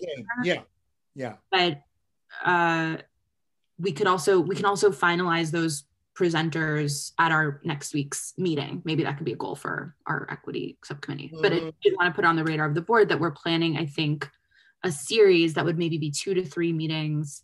Um, and we had outlined that. I don't have the notes from that meeting in front of me, but um, we had outlined like what those things would look like. So if folks have particular questions or concerns or areas of focus that they would like to come up in the trainings, feel free to email any of us. Yeah, Kathy. Okay. I, you know, because it's my interest, but I have a question of people because I've, I've worked in and supported people with cognitive impairments, um, and which not only means people with intellectual or developmental disabilities, but it also means people with dementia. So, you know, I think it would be important as part of being a dementia-friendly community that, and I think it would be really um, for the Arts Council to also consider, you know, what what does it, you know, what does dementia mean, and then how do we include people with dementia in our community in the art world? Mm-hmm because too, all too often, you know, I've been reading a lot of things about diversity, even in my nursing uh, honor society, you know, when you talk about diversity, they, they completely forget about people with di disabilities, co especially cognitive um, impairments and uh, such like, uh, and with dementia. So I just wanted to make sure we don't forget about that, that part of our diverse population either. Absolutely. Thanks, Kathy. Hmm. And if anybody's interested, I mean, I do training on dementia friends, as Freeman knows, so that's I could offer it to people at some point. That'd be great. That'd be really great. Um, maybe we can invite you to a future subcommittee meeting, Kathy, or to be part of the conversations. I think we're going to do planning conversations with the trainers um, to get our agenda set. So maybe you can be part of that conversation too, if you want. Um, the board, the equity subcommittee also did talk about um, our guidelines. So we spent quite a bit of time shaping those. So that was not just me, that was a whole group that weighed in and edited and commented. So thank you all for help with that. Um, and at our next, this kind of bleeds into the next uh, bullet point. At our next meeting, we are going to spend a little bit more time talking about um, where equity practices show up in grants and what our um, metrics of evaluation are, um, and what our outreach looks like, et cetera. Yeah, and I'll be able to share with you the changes that we've made for Valley Creates, uh, which is a Barr-funded multi-year project under Community Foundation. And so we've made some major changes and some shifts to deal with that, as well as what other organizations in New England are up to, as well as outside New England. So there's a lot of push, particularly for arts groups. These are all arts groups. So it'd be really helpful to look at how they do it and how we might want to do it as well. Any other equity subcommittee um, updates for officially moving on to grants? I, I have just a like an agenda question, which is if we're if we're going to discuss NAN in this meeting, like I know we had the presentation, but if we're also um, making a decision on on that or or having discussion on that, and I just wasn't sure what where in the agenda that would fit if if that was happening. Ryan, what do you what do you think? Would it go here? Would it go? Is do do we have a new business that it could go under? You're on mute.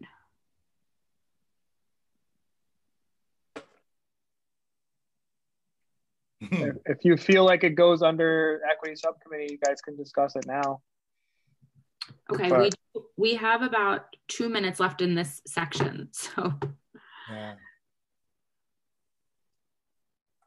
I don't think it's part of it. I mean, I we can take it in the two. A, I think it's going to be a longer conversation than two minutes, and B, I'm not sure if to pigeonhole in equity is because it's really asking for both individual as well as organizational. So I think it fits outside of that purview, but I'm open to so, when it's discussed. So I just received the answer to those questions while we were having this board meeting. So I think it makes sense for everybody to be able to review them mm-hmm. and then have a discussion with them. If I got them before, like, and I could set them out on Thursday, that would have made more sense to have a real uh, in-depth discussion um, and have it on the agenda. Uh, but this is again my opinion, and this is this is a board, so you can decide whatever you want to do. But I think it makes more sense to have it discussed at our next board meeting after people could review the questions and and feel you know feel it out, and I can add that as an agenda item on the, the agenda. Well, and the next board meeting is when, Brian? Every second Tuesday of the month. So right, so that's second April. Tuesday in April. Isn't there a vote coming up in the end of March? Jesse? Uh, So the it's not a vote. It's the um, police commission is releasing their um, their full their full report. Their full report um, next week. Okay. Um, and then basically anything after that would be going towards uh, you know movement towards the ultimate um, next big push around the budget. Okay. So we got time. Yeah. Okay. Um, they're they're just started pres- budget presentations next in the next two weeks. So my budget presentation to the the mayor's office is in two weeks for FY twenty two. Okay. Just and I'm like one of the first first ones. I just do it quick because mine's really easy. I always ask for more money, and most of the time they give it to me, but it's like a little bit. Mm-hmm. I'm an incrementalist. I just ask for a little bit more for art, and they're like, "Okay, yeah, that makes Okay. sense." Right. right. exactly. um, Rachel, yeah. do you have a direct question about that, or were you just bringing that up for conversation? No, it's a good question. Yeah, no, I I was I just wasn't sure if there was a plan for us to talk about it, and I knew that the equity subcommittee had a strong hand in drafting the questions, and uh, so I wasn't sure if it was intended to fit in that section or elsewhere, because I was mindful of the fact that there was some discussion last meeting about having a decision this meeting, or or just a check in and continued conversation. Um, I mean, I do. Can we get through everything else, and if we have some time at the end of it, we can do kind of like a temperature check based on based on the conversation we had. Yeah, and I'll I'll- I'll do a poll, and yeah, so Awesome. that sounds that sounds good. So grant round. Uh, do we have an update on grants for the um, COVID relief grant, Brian? Or we kind of talked about that last time.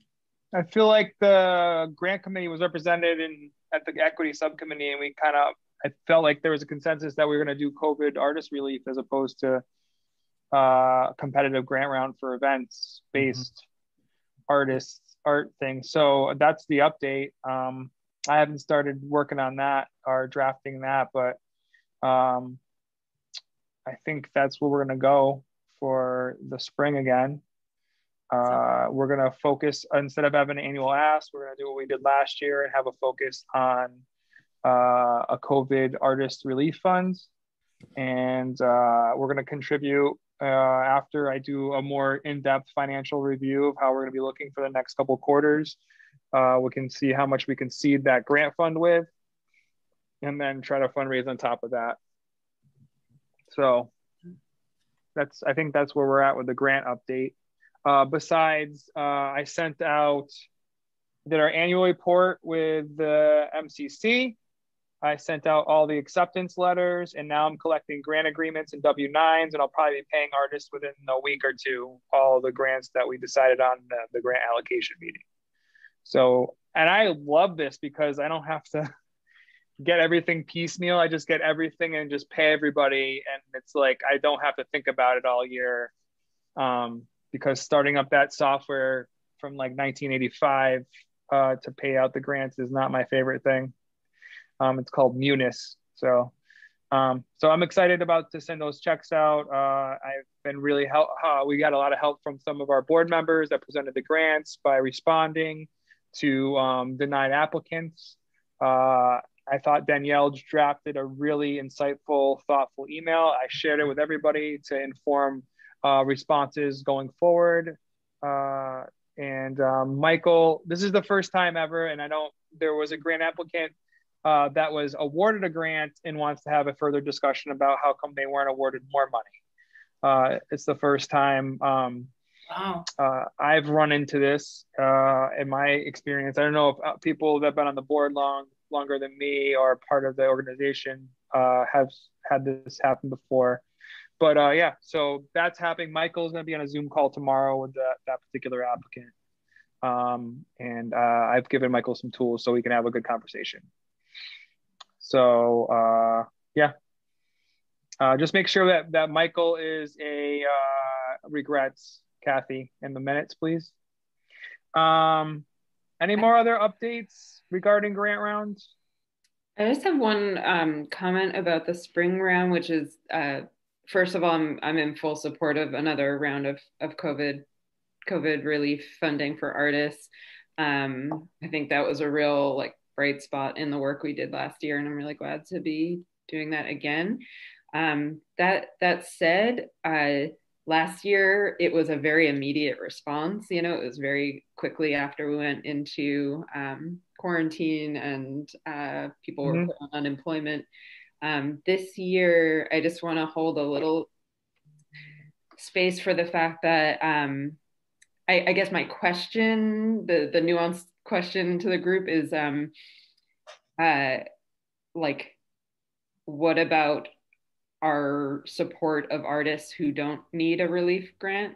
And um, are we comfortable having the fall round be the project based work and the avenue for artists to apply for funding for their projects in northampton area like i, I guess knowing that it's covid relief might mean that um, we have some artists who are just not going to apply because they're just like oh i you know, I, uh, it, they may take themselves out of the running. It may be. Do you know what I'm saying? um, I think it creates more money to distribute fewer grants to folks who might still be high need. Yeah. Um, so definitely a trade off, but I think I think I'm uh, again I'm 100% in support of that, but I also just want to acknowledge that it our our typical like mission and work as a grant as a board is to support these two grant rounds that support artists work and creation and um, I guess I was wondering if there was a wording way in which all artists are still eligible to apply for their projects, but that but well, that this is um, a relief grant and that it's I don't I don't know. I maybe the answer is no. There's no like this has to be a relief grant and the fall has to be project based. But I I'm just acknowledging that there it, it removes a door for the like traditional. Uh, I would argue, Rachel. Oh, sorry. Go ahead, Jesse. I you were starting first, so I'm happy to speak after. No, you, you had your hand up, which is proper okay. protocol, and I feel like you should go first. um, I might say the exact same thing that you were going to say. Um, I'm just wondering if actually this opens it up a little bit more because it's not specific to um, projects. So if artists are wanting to do projects or if they have projects in mind, um, they're still going to need money to get those done and they're not able to get money because of COVID. I, I I guess I just wonder if there's anybody out there who would feel like they would take themselves out of the running for it being called COVID relief, um, you know, a year in, and the government hasn't done nearly enough to help anybody. Um, so every little bit I feel that we can do um, can be can can can can help even more. I don't know if that's a direct uh, reply um, and how I meant it to come out, but I think everyone. You've done okay. Uh, and from my experience uh, administrating the COVID grant fund last year, Rachel, uh, it might speak to your concerns that there were a lot of uh, applicants that we awarded funds to that did use it for their projects and I felt like the call was uh, you can use it for whatever you want, right? Like that's kind of what we did. And people, some people used it for projects. Now we could definitely, and I hope you can help me because I feel like you are going to help me. We can we can cater the call. Like if you want to use it for your project, go use it for your project. Like I had people emailing me is like, do we need to credit the Arts Council? I was like, no, you just can use it for whatever you want. You know, no credit needed. And that's the one thing that's missing. It's not that they can it's like they don't have to put our logo on it. We're just like, here's some money, do what you will. If you need to pay your utility bill, do that. But if you want to like, if you need your art, and I feel like I saw a lot of artists because of my experience, you know, working with them and hiring them that applied that don't didn't need the money, but maybe they used it to to to propel their work forward. You know, there was we we awarded 132 or 130 people grants, and I know some of the people on that list personally, and their house is very big in Northampton, and they probably use it to make work and not just to like pay their bills or their rent or whatever it may be. So I don't know if that speaks to your concerns, but I think we can we can put language in the call that has an, an open ending way to do it. I felt like we did a good job. Go ahead, Ashlyn. Yeah, I just want to speak as someone who did receive that last year. Um, when I did receive it, um, a lot of that money went towards me not just keeping the lights on, but keeping housed. Um, the, even though, um, or, or all of it did, because I only got like, I don't know, three, 300 something, and I was applying for other stuff. But uh, in that time, I was not able to apply for grants for projects because I was already in the negatives for stuff because due to COVID. So that gave me the autonomy to be able to keep things together as a working artist, but also I didn't have really the time to put together a pitch for a project that I'm expected to finish in six months and stuff when I'm already back cycling from other things in my life as a, as someone who's both a working artist. And then it makes it easier for me to do that and pay that and then pick up contracts and stuff that are going to pay me more direct money and more direct commissions. Just and and i think and i think ideally yeah it would be better to to have it where it's we know specifically where it's going but just because of covid times i felt like that was very relevant and very helpful for me and uh, things haven't really changed much. Uh, I haven't been able to get um, a lot of uh, bookings and stuff. I haven't really booked anything, honestly, and um, be mostly just because of the kind of circuits and venues I worked in. So um, I think so. So yeah, I, I, I think I think it will still be helpful, and I think it's still helpful now because if it, if anything, people are in even less work or even or, or there's a higher population of unemployment right now than there ever was. So this time last year. Um, thank you, Ashlyn. Um, Freeman, did you have anything you wanted to add? We will also pull together a grant subcommittee meeting to go through the details of this. Did you have anything you wanted to add, Freeman, before we go to public art? I just wanted to say that I, I think it's a good distinction, Rachel, that you raised. Um, and I think it it the fact that we, as you said, the fact that we decided to use the money for COVID relief, I think speaks to our sensitivity and awareness of the need. And, and I, you know, I feel comfortable making that compromise. Um, you know, it feels like we're responding to what's, what's real. Um, so that's, that's how I come to terms with it. So thanks for making, raising the, the, que- the question though. Thank you. Okay, so on to public art. Jesse Ashlyn.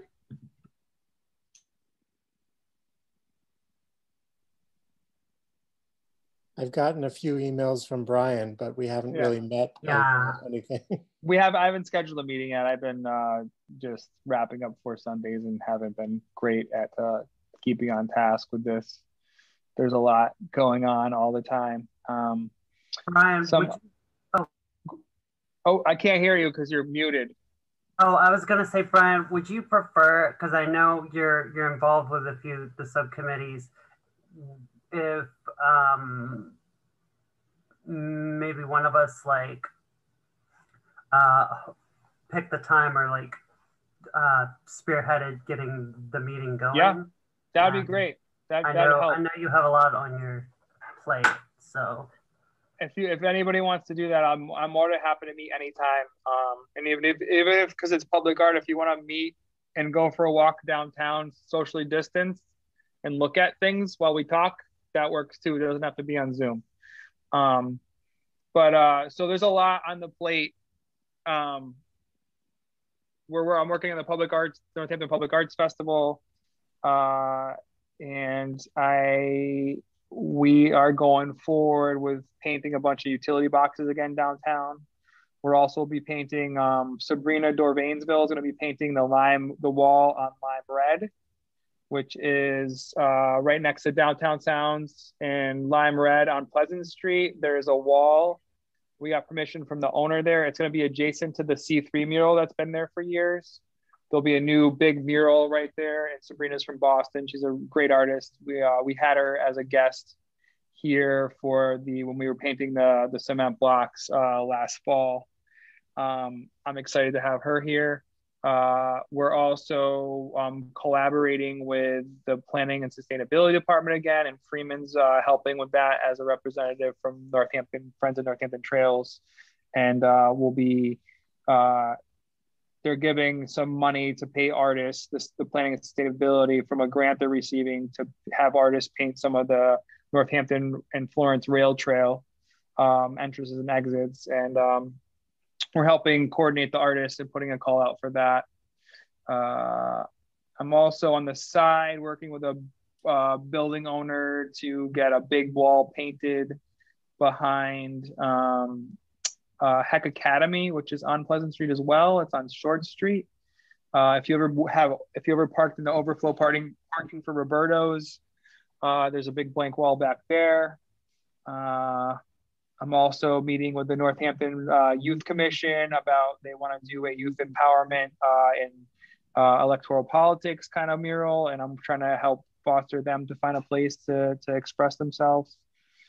Um, what else? Yeah, I'm working with National Grid, the DPW, private uh, building owners to find places that we can put more murals and art because I really wanted to have a lot around here. Uh, I've shared some uh, coordinates and calls with Jesse and Ashlyn and I've been trying to be more inclusive, but I've been working on this for a while. I do this every year. So I, we just have to call a meeting and I can uh, clue them in a little bit more on what's going on.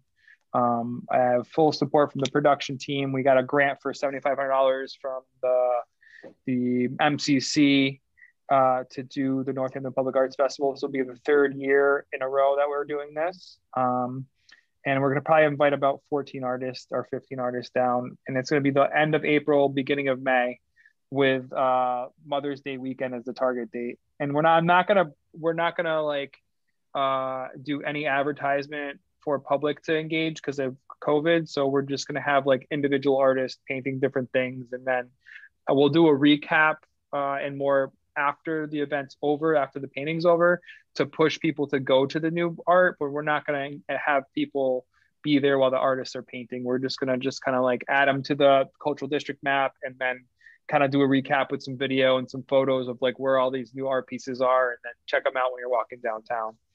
So that's kind of the the big plan right now. What's uh, the public art, the Arts Council is doing with public art right now in uh, Northampton and, and Florence as well as identifying. I want to paint that big wall next to the police station, but I gotta go get uh, some permission for that.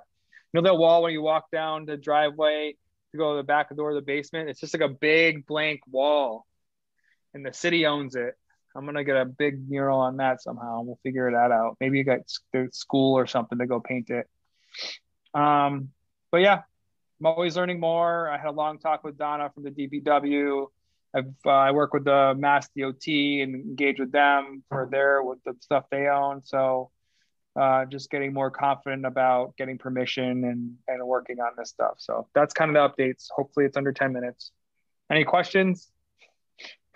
Um, I just had um, a comment. Um, would you be able to send some of the places that I know some were like like the place by the police station is like something that's working that's not more concrete but like by Roberto's and some of those spots, would you be able to send that in the committee committee email of the the of yep. um, yeah of of of the places that are more concrete and that are in the work? Oh, all those boxes that we want to paint. Did I share that uh, Google sheet with you with the pictures? No. I'll I'll just I'll just reshare that with you and okay. uh, and then um, I can also send an email too. And those, for some reason, they work on my phone, but when you click them on them on a computer, uh, because the way Google Maps works, it just puts you at the street view as close as possible to those boxes, because some of those boxes are like behind places. So I don't, I was, I thought I was like really clever in using Google Maps to like really identify all those boxes.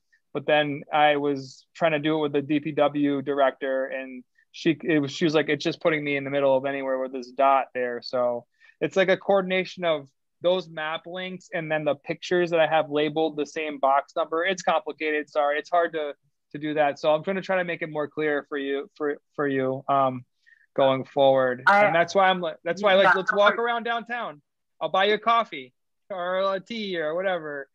Um, we'll go to Belly of the Beast and get uh, some bacon. Oh, I missed the bacon there. Um, okay. Sorry, that's, that's about it. I'm, I'm, I'm, I'll, I'll try to make it more clear for you, Actually, I know it's difficult. I think if I see that, I think I just didn't see the boxes. Um, okay. So yeah, I, and I'll go check it to see if, or you said you were gonna probably send it again.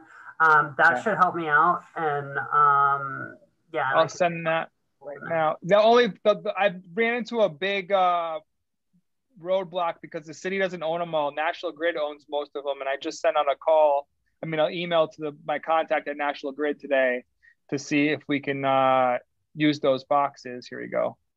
I'll reshare that right now with you, Ashley, and I'll put it in the thing. Um, so I, I thought we were, going to be real easy. Just pick out all these utility boxes and then, uh, and then the city owns them. And then the DPW just says, okay, you can paint them. But I was on the phone with DPW and they're like, that's not our box. National Grid owns that one. That's a private one. So I have to do some more work on that. So,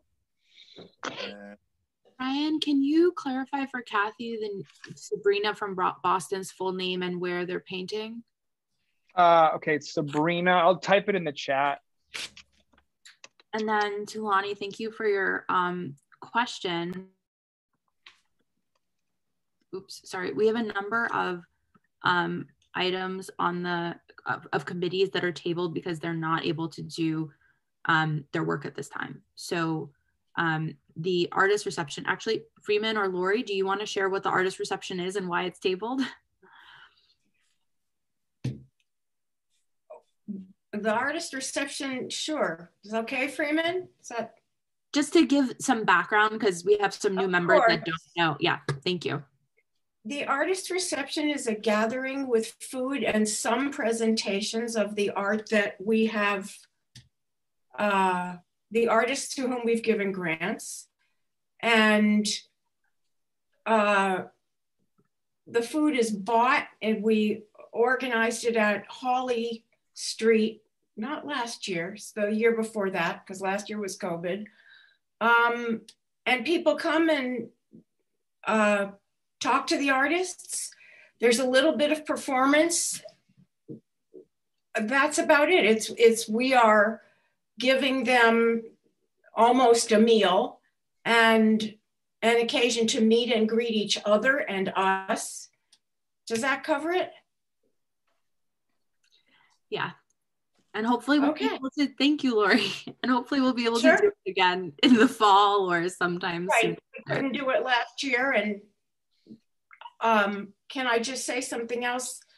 I'm also on the committee with Ellen for the biennial, which is an exhibit um, of artists' work that's juried. This is for Tulani's sake and for anyone who's new. Uh, and two years ago, we did, not two years, last October of 19, we did it at the library where it's apparently always done. Ellen can speak to this. It, we don't know if we're going to be able to have a live opening and meal in the same kind of um, sort of a gathering because we don't know what COVID's going to do. Okay. Thanks, Lori. Sure. Board membership, I think we usually, I, I, I don't know if we have necessarily a subcommittee for it. Brian, you want to? it was just updates that would, because we had all these new oncoming board members, so I'd always like update it. But I do have a board membership thing that I know it says table, but I'll make it really quick. Um, we need a municipal clerk to uh, coordinate the minutes with Kathy Service. So if there's anybody on the municipal board who would like to self-nominate or be interested in being the clerk and would coordinate with Kathy on the minutes. So she is an Inc. board member and she takes the minutes, but then she would need to coordinate with a municipal board member to sign off on the minutes uh, and then submit them to Danielle, myself, and the two of us so we can have it. Does anybody want to, we're interested in doing that to be the clerk on the municipal board or, uh, or that's it? Anybody interested? Any takers? And Brian, do you want to share the difference between the ink and the municipal? Um, hopefully I don't have to because everybody read the onboarding document that we shared. Mm-hmm. So okay. if you're if you're a new board member, you're on the municipal board. That's that okay. You are appointed by the city of Northampton. The Inc. is a 501c3 that we use to fundraise to support the activities that both boards do. Um, uh, so basically, I would need somebody to coordinate with Kathy. And then if Kathy's not, service is not at the meeting, I would need somebody to take minutes.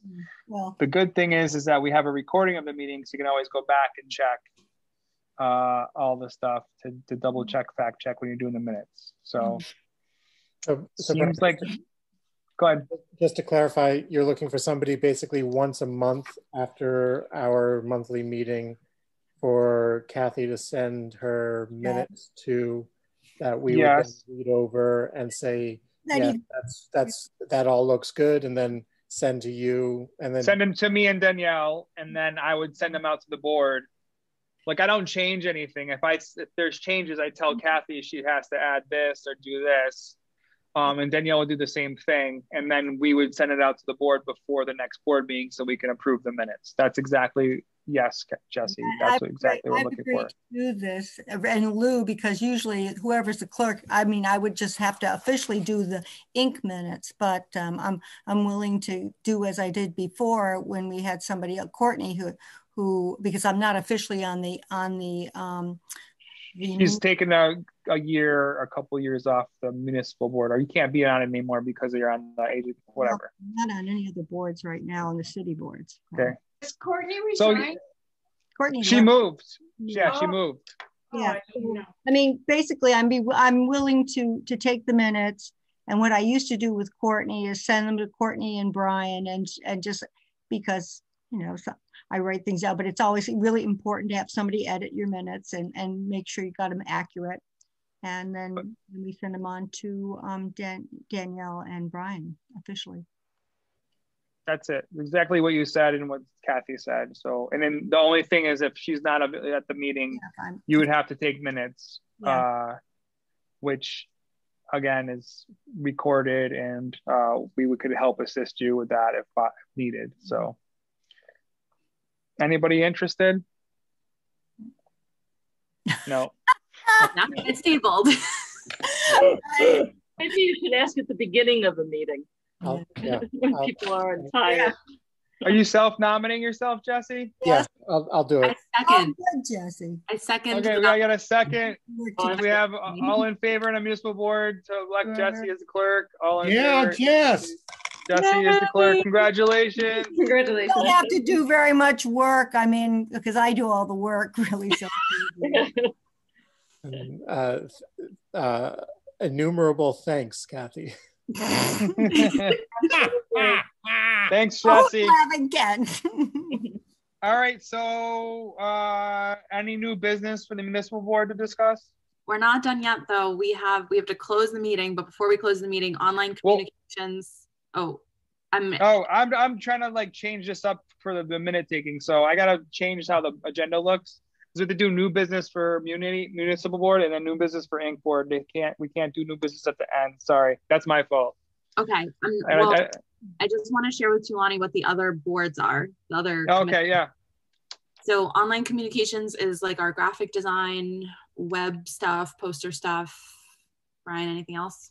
Kind of it. Uh, right now we're in the middle of rebranding, and Eamon and I met, and we went over some options. I I gave those options that we wanted to move forward to to the graphic designer who's working on our whole logo rebrand. Um, and he hasn't. Uh, I have to basically ask. I haven't got anything back from him yet. So as soon as we get something back from him, I will again meet with Eamon, um, and then uh, and and and then we will come up with our next point, and then we'll inform the board what's happening, and then. But right now we're just tabled because I don't have anything to report. School is um, fundraising and partnerships, particularly tied to Northampton Public Schools. Um, and Freeman and Lori were kind of just getting started when COVID hit on that. So um, there's that. And then volunteers, Kathy, d- d- what is our volunteer subcommittee? Well, subcommittee? basically, I mean, it started out with within most of the volunteer has to do around events. So getting the volunteers for first night and or and we can we talk about some of the four Sundays and just trying to figure out if we have any any opportunities for volunteers trying to figure out how to um, find them and or organize them during the during the event time. And Mostly It's like- yeah, it's a support of some of the board members to help coordinate all like because we have to we have to coordinate 120 volunteers on first night. Mm. Um, so I wasn't able to do that myself. So it was I had like Kathy Murray, Kathy Service is a stalwart. Um, and we meet and then we figure out how to organize that many people in 12 for 12 hours. And, uh, so that's the volunteer subcommittee. And then we also do it for, and then those the two big events are like, well, there's three. There's Trans Performance, First Night, and Silver Cord Bowl. And when we need the most people volunteering, and then I, I help I have the the volunteer subcommittee help me with that. and then the No four events. Yeah, four Sundays. There's no events, so we don't need to meet. So Freeman? I, I just wanted to say something about the school piece because um, Karen brought it up in terms of uh, getting some help with the the um poet junior pro laureate and and um, so so make sure you communicate with us because uh, I know some people at the the middle school and I would very much like to connect with them uh, around this as well as the high school. Um, so I'm certainly, you know, ready to to make that contact and move forward once we once we want to explore that. Awesome. So thank you, Freeman, um, for that offer, and Lori for your work on that too. Um, if anyone wants to join any of these subcommittees, you the way you join is you email Brian, and then he adds your name to the agenda, and then you're on it. and whoever calls Yeah. the meetings just suddenly knows, uh, or Brian lets them know that you are to be looped in on those those meetings. So that's kind of the way to do it. It's not it's, it's not a very elegant process, but that's that's the one that we have. not Um, elegant. okay, so new business, and then we close. Yeah, yeah. Sorry, I'll I'll change the agenda next time. Yeah. So any new business that anybody has to bring to the municipal board to discuss? Okay. Okay, uh, motion to close the municipal meeting. So moved. I move to close. Okay, or so moved. Uh, second. All in favor? Okay, great. So municipal is closed. Over to Inc. Do we have to move to open the Inc, Kathy? Okay, I move to open the Inc board meeting. Second. Uh, Do the, do I'll make this really quick. Go ahead. Go ahead, Lori. No, go ahead. Do, do the municipal board members always stay for the Inc board part? You don't have to. You're invited to though. Like it's Okay. uh, you can you don't have to stay if you want to just i'm going to make it really quick it's just about money i, I haven't had the whole thing uh, four sundays was was we did well uh, i haven't i don't have all the numbers in and i have i'm working on the recap with uh, um, the production team and the uh, income versus expenses but we're probably going to make, make around $9000 which is good for four sundays we had uh, varying participation into the, the different events uh, but in the end, I think you know we I we're we're keeping the the flame lit uh, for art for people to watch art. And uh, Silver Cord Bowl, we probably had you know 500 people watching at different things, uh, different you know on YouTube, on Facebook, all at the same time.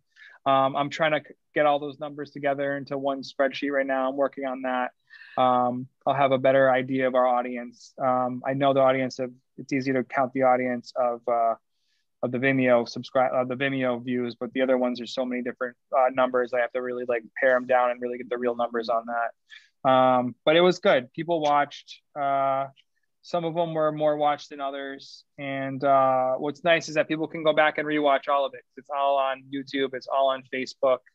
Um, you don't have to uh, be there the day that we we live uh, we live broadcast it, which I really like that idea of that people can just come back and check it out anytime they want. Um, uh, yeah, so we had a lot of nice notes. People said I, you know, I got I got notes in the mail from letters. So it's just nice to keep the torch alive. It's not as in depth of a production as before, but um, I really like some. Like I, one of them was like you make pizza with a local band, and I like stayed home and made pizza, and it was not very good pizza, but the next pizza I made was much better. um, so you know, uh, that's good. I also shared a financial snap snapshot in the email I sent everybody. I don't know if you have that open. Uh, I can share my screen right now. I can open it and share my screen. Um, I think, uh, and, I I'm gonna wrap this up. Should. What? I think you should share your screen because I am. I'm doing. I'm doing that right now. I'm on it, Rachel. Here we go. Does everybody see it? We need to make it bigger. Kent and I, our old eyes. I'm like, I, I know. I'm working on it. I'm working on it. I'm not too good at the technology. Let me zoom in. Here we go. Right. It's okay. Um, 150. Here we go. That You're right, better. Kathy. I was on mute. no, I'm so bad. Speaking of So, if you can see, we can Mhm. focus on the Inc side. This is the Inc meeting.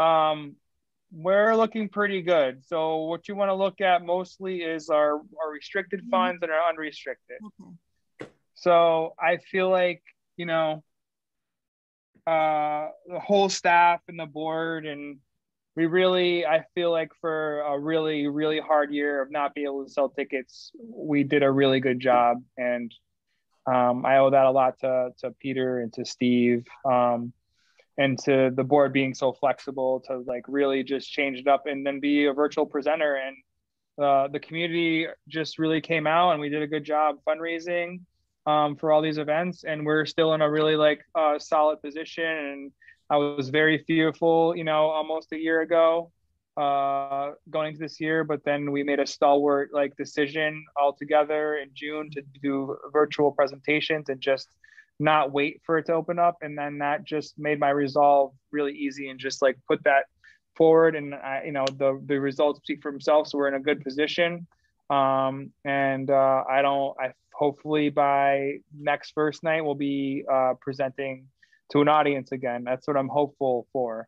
But at this juncture for presentation, I'm not counting on summer concert series or trans performance to be with an audience. So I, I'm think I'm thinking that those two are going to be again virtual, and then hopefully we can get first night in this year.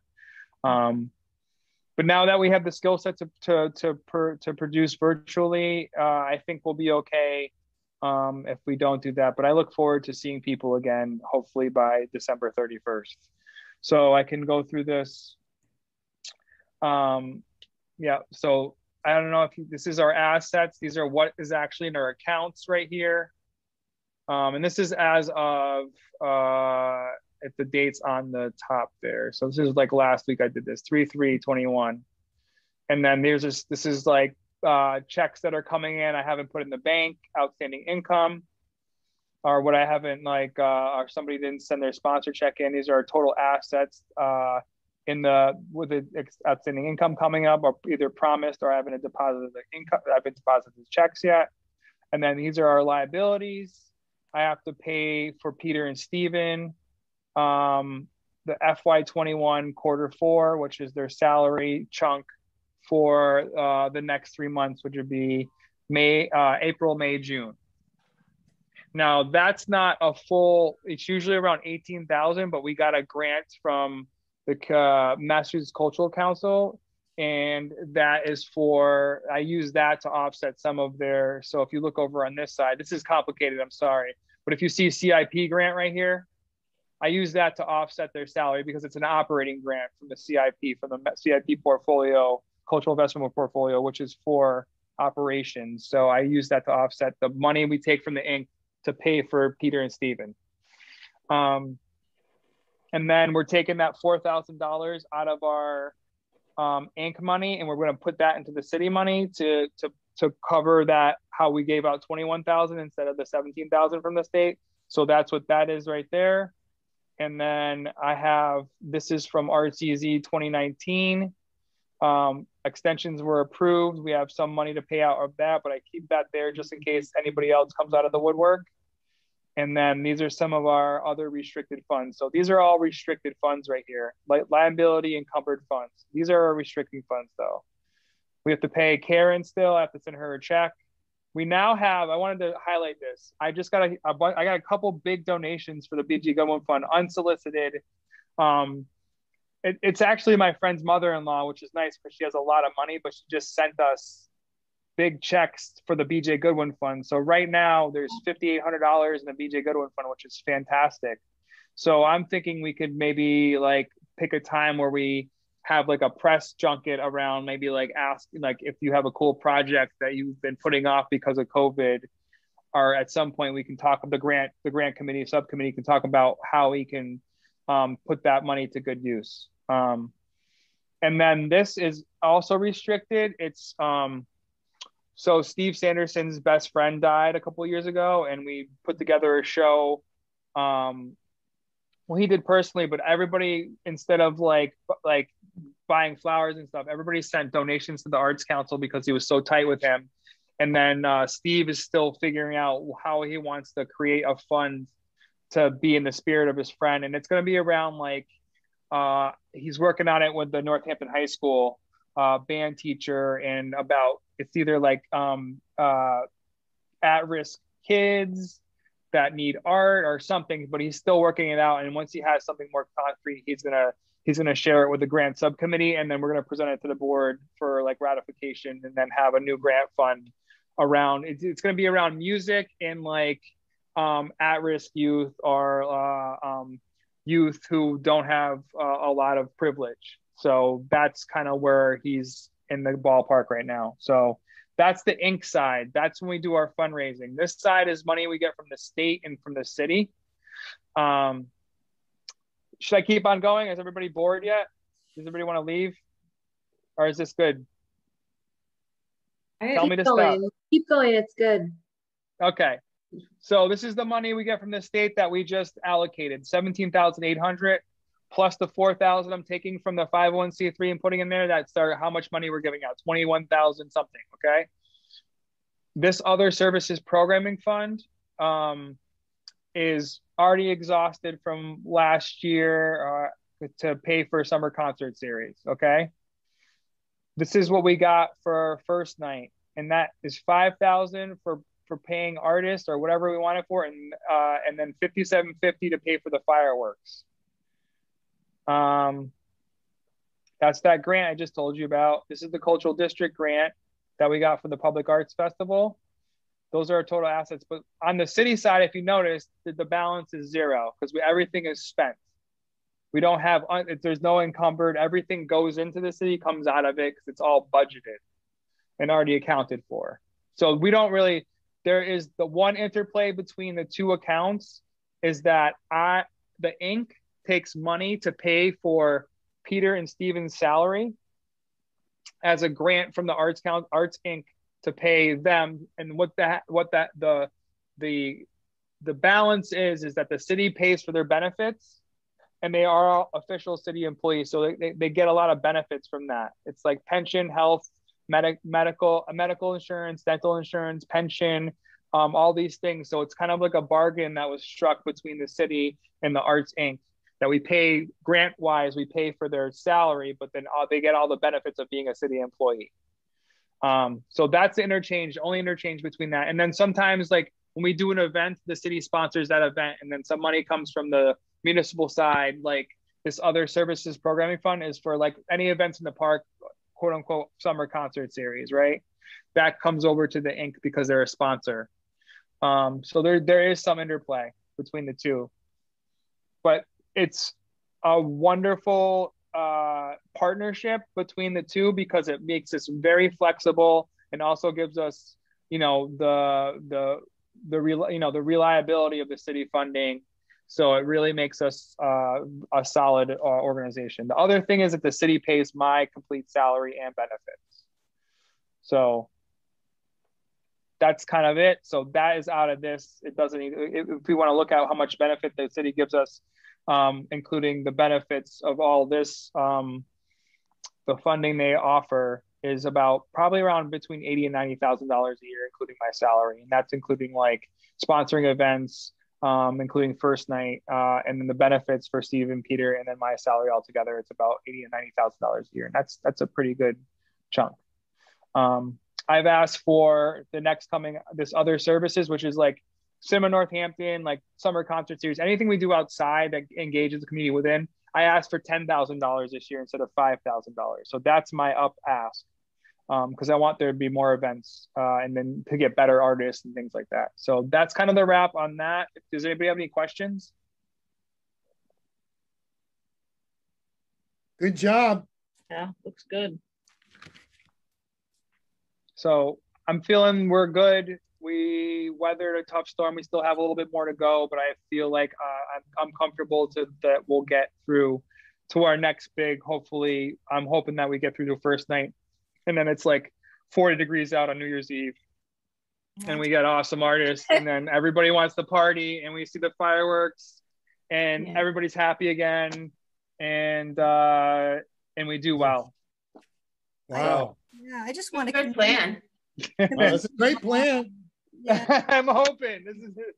Can I hope? Can I be idealistic? Yeah, go for it. um, again, if you have any questions, um, Freeman and I are going to have a meeting. Freeman, uh, actually, we need to do one more thing. Um, can somebody nominate Freeman to be treasurer of the municipal board? I nominate Freeman to be treasurer of the municipal board. Can I have a second on it? I second it. All in favor? Yes. Hi. Thank you. I just needed to we because Freeman is the treasurer of the Inc board and he serves on both boards, and I just wanted him to to, to be like officially uh, uh, uh, have him to be a municipal board. So thank you, Freeman. Congratulations. We're, we're having a meeting. We're, we're having a meeting soon, so I can go over because it's new for him to go over the policies and procedures of of how the, the money is handled. Um, and I have to add them to a couple accounts and things like that. But I'm really happy. Freeman's I'll, been. I'll, I'll face I'll FaceTime you uh, from the island that I go to.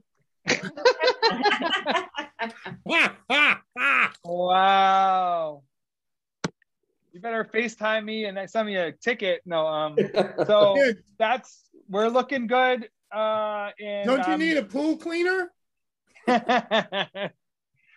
um, they have robots for that now, Kent. I know it's sad. Um, I'm afraid I, those robots are fun. uh, I think I've uh, we've all been here for a while. And uh, if there's any more, is there any new business for the Inc? Um, thank everybody. Uh, Rachel, send. Are we not doing Rachel? the Nan check-in? Oh yeah, I forgot. Whoa, oh yeah, I thought we did the Nan check-in. Did we not? Are we are we closing the Inc? Can I? Oh, I'm sorry. Wouldn't the Nan check-in be part of the municipal meeting? Rachel? Yeah. Yeah, did we close that already? Did we lose that? Yeah, we closed the, the municipal Close meeting that. already. Can- Everybody voted on it. We didn't. Oh, we did vote to close the municipal, but we could close the Inc and then reopen conversation if we. Is that possible? Is that allowed? Sure, yeah. All right, motion to close the Inc. Second. No, I don't, I'm- Uh, motion to open municipal. Second. Seconded. Okay, now we're officially back in municipal. I guess. Sorry about that. Um, I don't know. Do we? Is that something we want to talk about now, or is that something that we want to review the um, Q and A and discuss at the next meeting? I thought that was already decided. Yeah, I, we were just going to uh, do a temperature check-in and see if I think we're. I don't know that that that was kind of what we were. Brian said maybe to do a straw poll, but I don't know that. I'm gonna do it right now. Publicly support. I forgot to do that. Sorry. I forgot to ask for it. Sorry. No, no, no. No, that's fine because I wasn't really sure either. So it makes sense to be more explicit. So this poll is just to gauge an interest in whether or not this group will show public support by signing the proposed letter. And then, of course, we know there are other ways to show support Um, and it's not an official vote, but it's just to gauge interest. And then based on that, someone can call for a vote if they wanted to. Um, or we can just have a conversation about it again at our next meeting. Yeah. So, so I just want to clarify when you say support, publicly support NAN, the question is whether we're supporting their demands. Is that correct?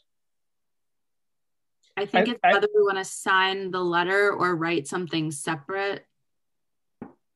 Yeah, I, I think I think the the grand question here is is whether we want to sign on to their demands as listed on their website and sign on as the Northampton Arts Council. Um, and then, as we have talked about in the past, there are other things that we can do either in addition or instead of, including writing our own letter of support that um, might be worded differently than how they have it. Um, but I think for right now, let's keep it at the top level and maybe we can uh, have some time to um, talk about this in a little bit more detail at the next meeting. Sounds good to me. Yeah, we have to. Right. Yep. Should I should I share the results after everybody voted? Sure. Yeah. Okay. All right, so everybody's voted. I'm gonna end the poll. I'll take a screenshot. And then, uh, oh, I can just share results like this, huh? All right, that's it. That's the straw poll. Um, I think that there's a lot of different uh, opportunities for collaboration that NAN is uh, offering. And I think that we should take next month and we can have review those questions and then I'll I'll make it an agenda item for the board to discuss. And uh, and then we can then somebody can call a vote on whether we're gonna and we have to definitely like uh, make the question very specific like freeman just did. I i just typed it really quick and i thought i what i meant was exactly what you were saying jesse which is like the top level signing the petition. Yes kent yeah i also would would think perhaps no matter that we could also look at part of this is how the arts council might create programming or something to look at the how we either could support or create our own programming that would be aligned with, you know, pieces of the demands as well. So it's just something to consider. I think that was one of the asks of yeah. them, yeah. right? Definitely. I would, I think, I, yeah. Go ahead. Go ahead, Lori. Yeah, I would say if we're going to discuss this in the next meeting, which I think we need to do, we need to allow a lot of time for it because there's Mm-hmm. so it's so complex and interesting and everyone has complicated thoughts and ideas about it. So I think we need to give it maybe maybe it's the main issue of the meeting, maybe it's half an hour. I don't know. I agree I- with you, Lori. Noted. I will do Um, that on the agenda.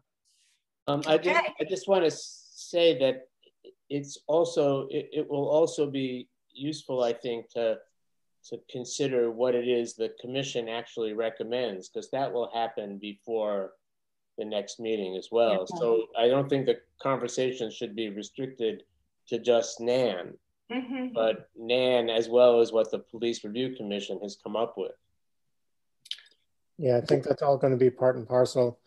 Um, and the another uh, part of it could also, um, like Brian was saying, we could go into uh, a little bit more, and this might this might be in more subcommittees in terms of like either public art or other things that we're doing that would um, we there could be some intersections between uh, you know some of the artwork that we're that we're helping to fund and and stuff Right. that they're talking about. That was my thinking, Jesse. Exactly.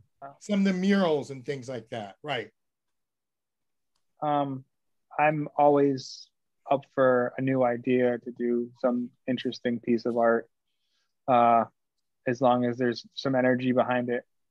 Uh, so let's let's let's let's let's look forward to that. So everybody, I shared the questions with the whole board that they're the answered questions. And hopefully everybody got them in their email. Um, you have some time to think about that. And then as soon as the police commission report comes out, I will share that with everybody as well. And then we'll and uh, we'll have a, a lively discussion. I'll allot 30 minutes at the next meeting for the discussion.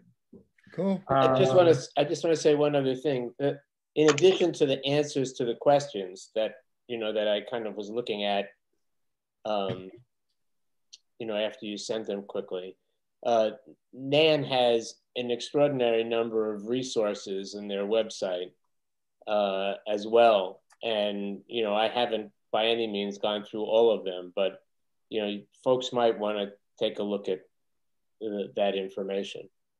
Because you know, um, as you know, I, you know, I, I've had some consider. I continue to have serious reservations about the demand for 50%. But it was very interesting to hear today that the, the kind of modification of that nor the uh, acknowledgement that that's not something that's going to happen, even though the demand says in the next okay. fiscal year. I thought that was seemed significant to me. Yeah, they they asked or like remnant or like the the, the beginning uh, foundation of this organization did do the 50% proposal before and it got bumped down to 10 so i think that's like the whole thing is like you you and within a lot of activism. So that's that's like a good thing to to know it's like asking it's like asking for grant you know? I'm going to ask you for $10000 because i know if i ask you for the five i want you're going to cut me to 2500 so yeah. you know you always ask i mean i'm i'm you know union organizers. I mean you know that's yeah. what you do. You ask for more so that you have some room to back up and still get what you want and need.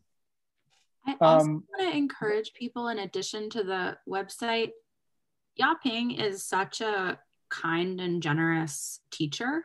Yes, so if anyone has a question or just like, oh, this just really doesn't make sense, I would really encourage you to reach out to her. Um, I can just I think she shared her contact info, but I'll verify that I can share her email address with everyone. Um, uh, she's she's wonderful. So if you just wanted to chat with her or you know brainstorm with her or ask her questions, and I'm sure all the other board members are great too. I just happen to have had those conversations with Yaping. Yeah, and- Yaping's really wonderful. I also, you know, I think the thing to do is ask you know, talk to your friends from marginalized communities. And I mean, the info, there's so many people to talk to about this. And as Lori said, it is an extremely complex issue that requires uh, conversation. So I, you know, I, I think we need to, but it's important to keep it on the table. Yeah. Anyway, I'm fried, folks. I'm yeah. yeah. Motion to close want, municipal. Oh, go ahead, Brian. One second. If you are not on a subcommittee, join a subcommittee. if you're on a subcommittee and you don't have a meeting that's set all the time, like we set the equity committee meeting every after every Tuesday after our meeting, I would encourage you to do that and email the people that are on the subcommittee, which are on is on the agenda. That's all. Try to codify the meetings so we can, even if it's for 15 minutes to check in. Hey, what's going on? What with this? Just just try to do work on that. Okay. Motion to close municipal. Second. Okay. Night. All right. Night. Thank you, wonderful people. Thank you all. Bye. Dana, I love that sweater. I just wanted Thanks to say that. Bye. Bye.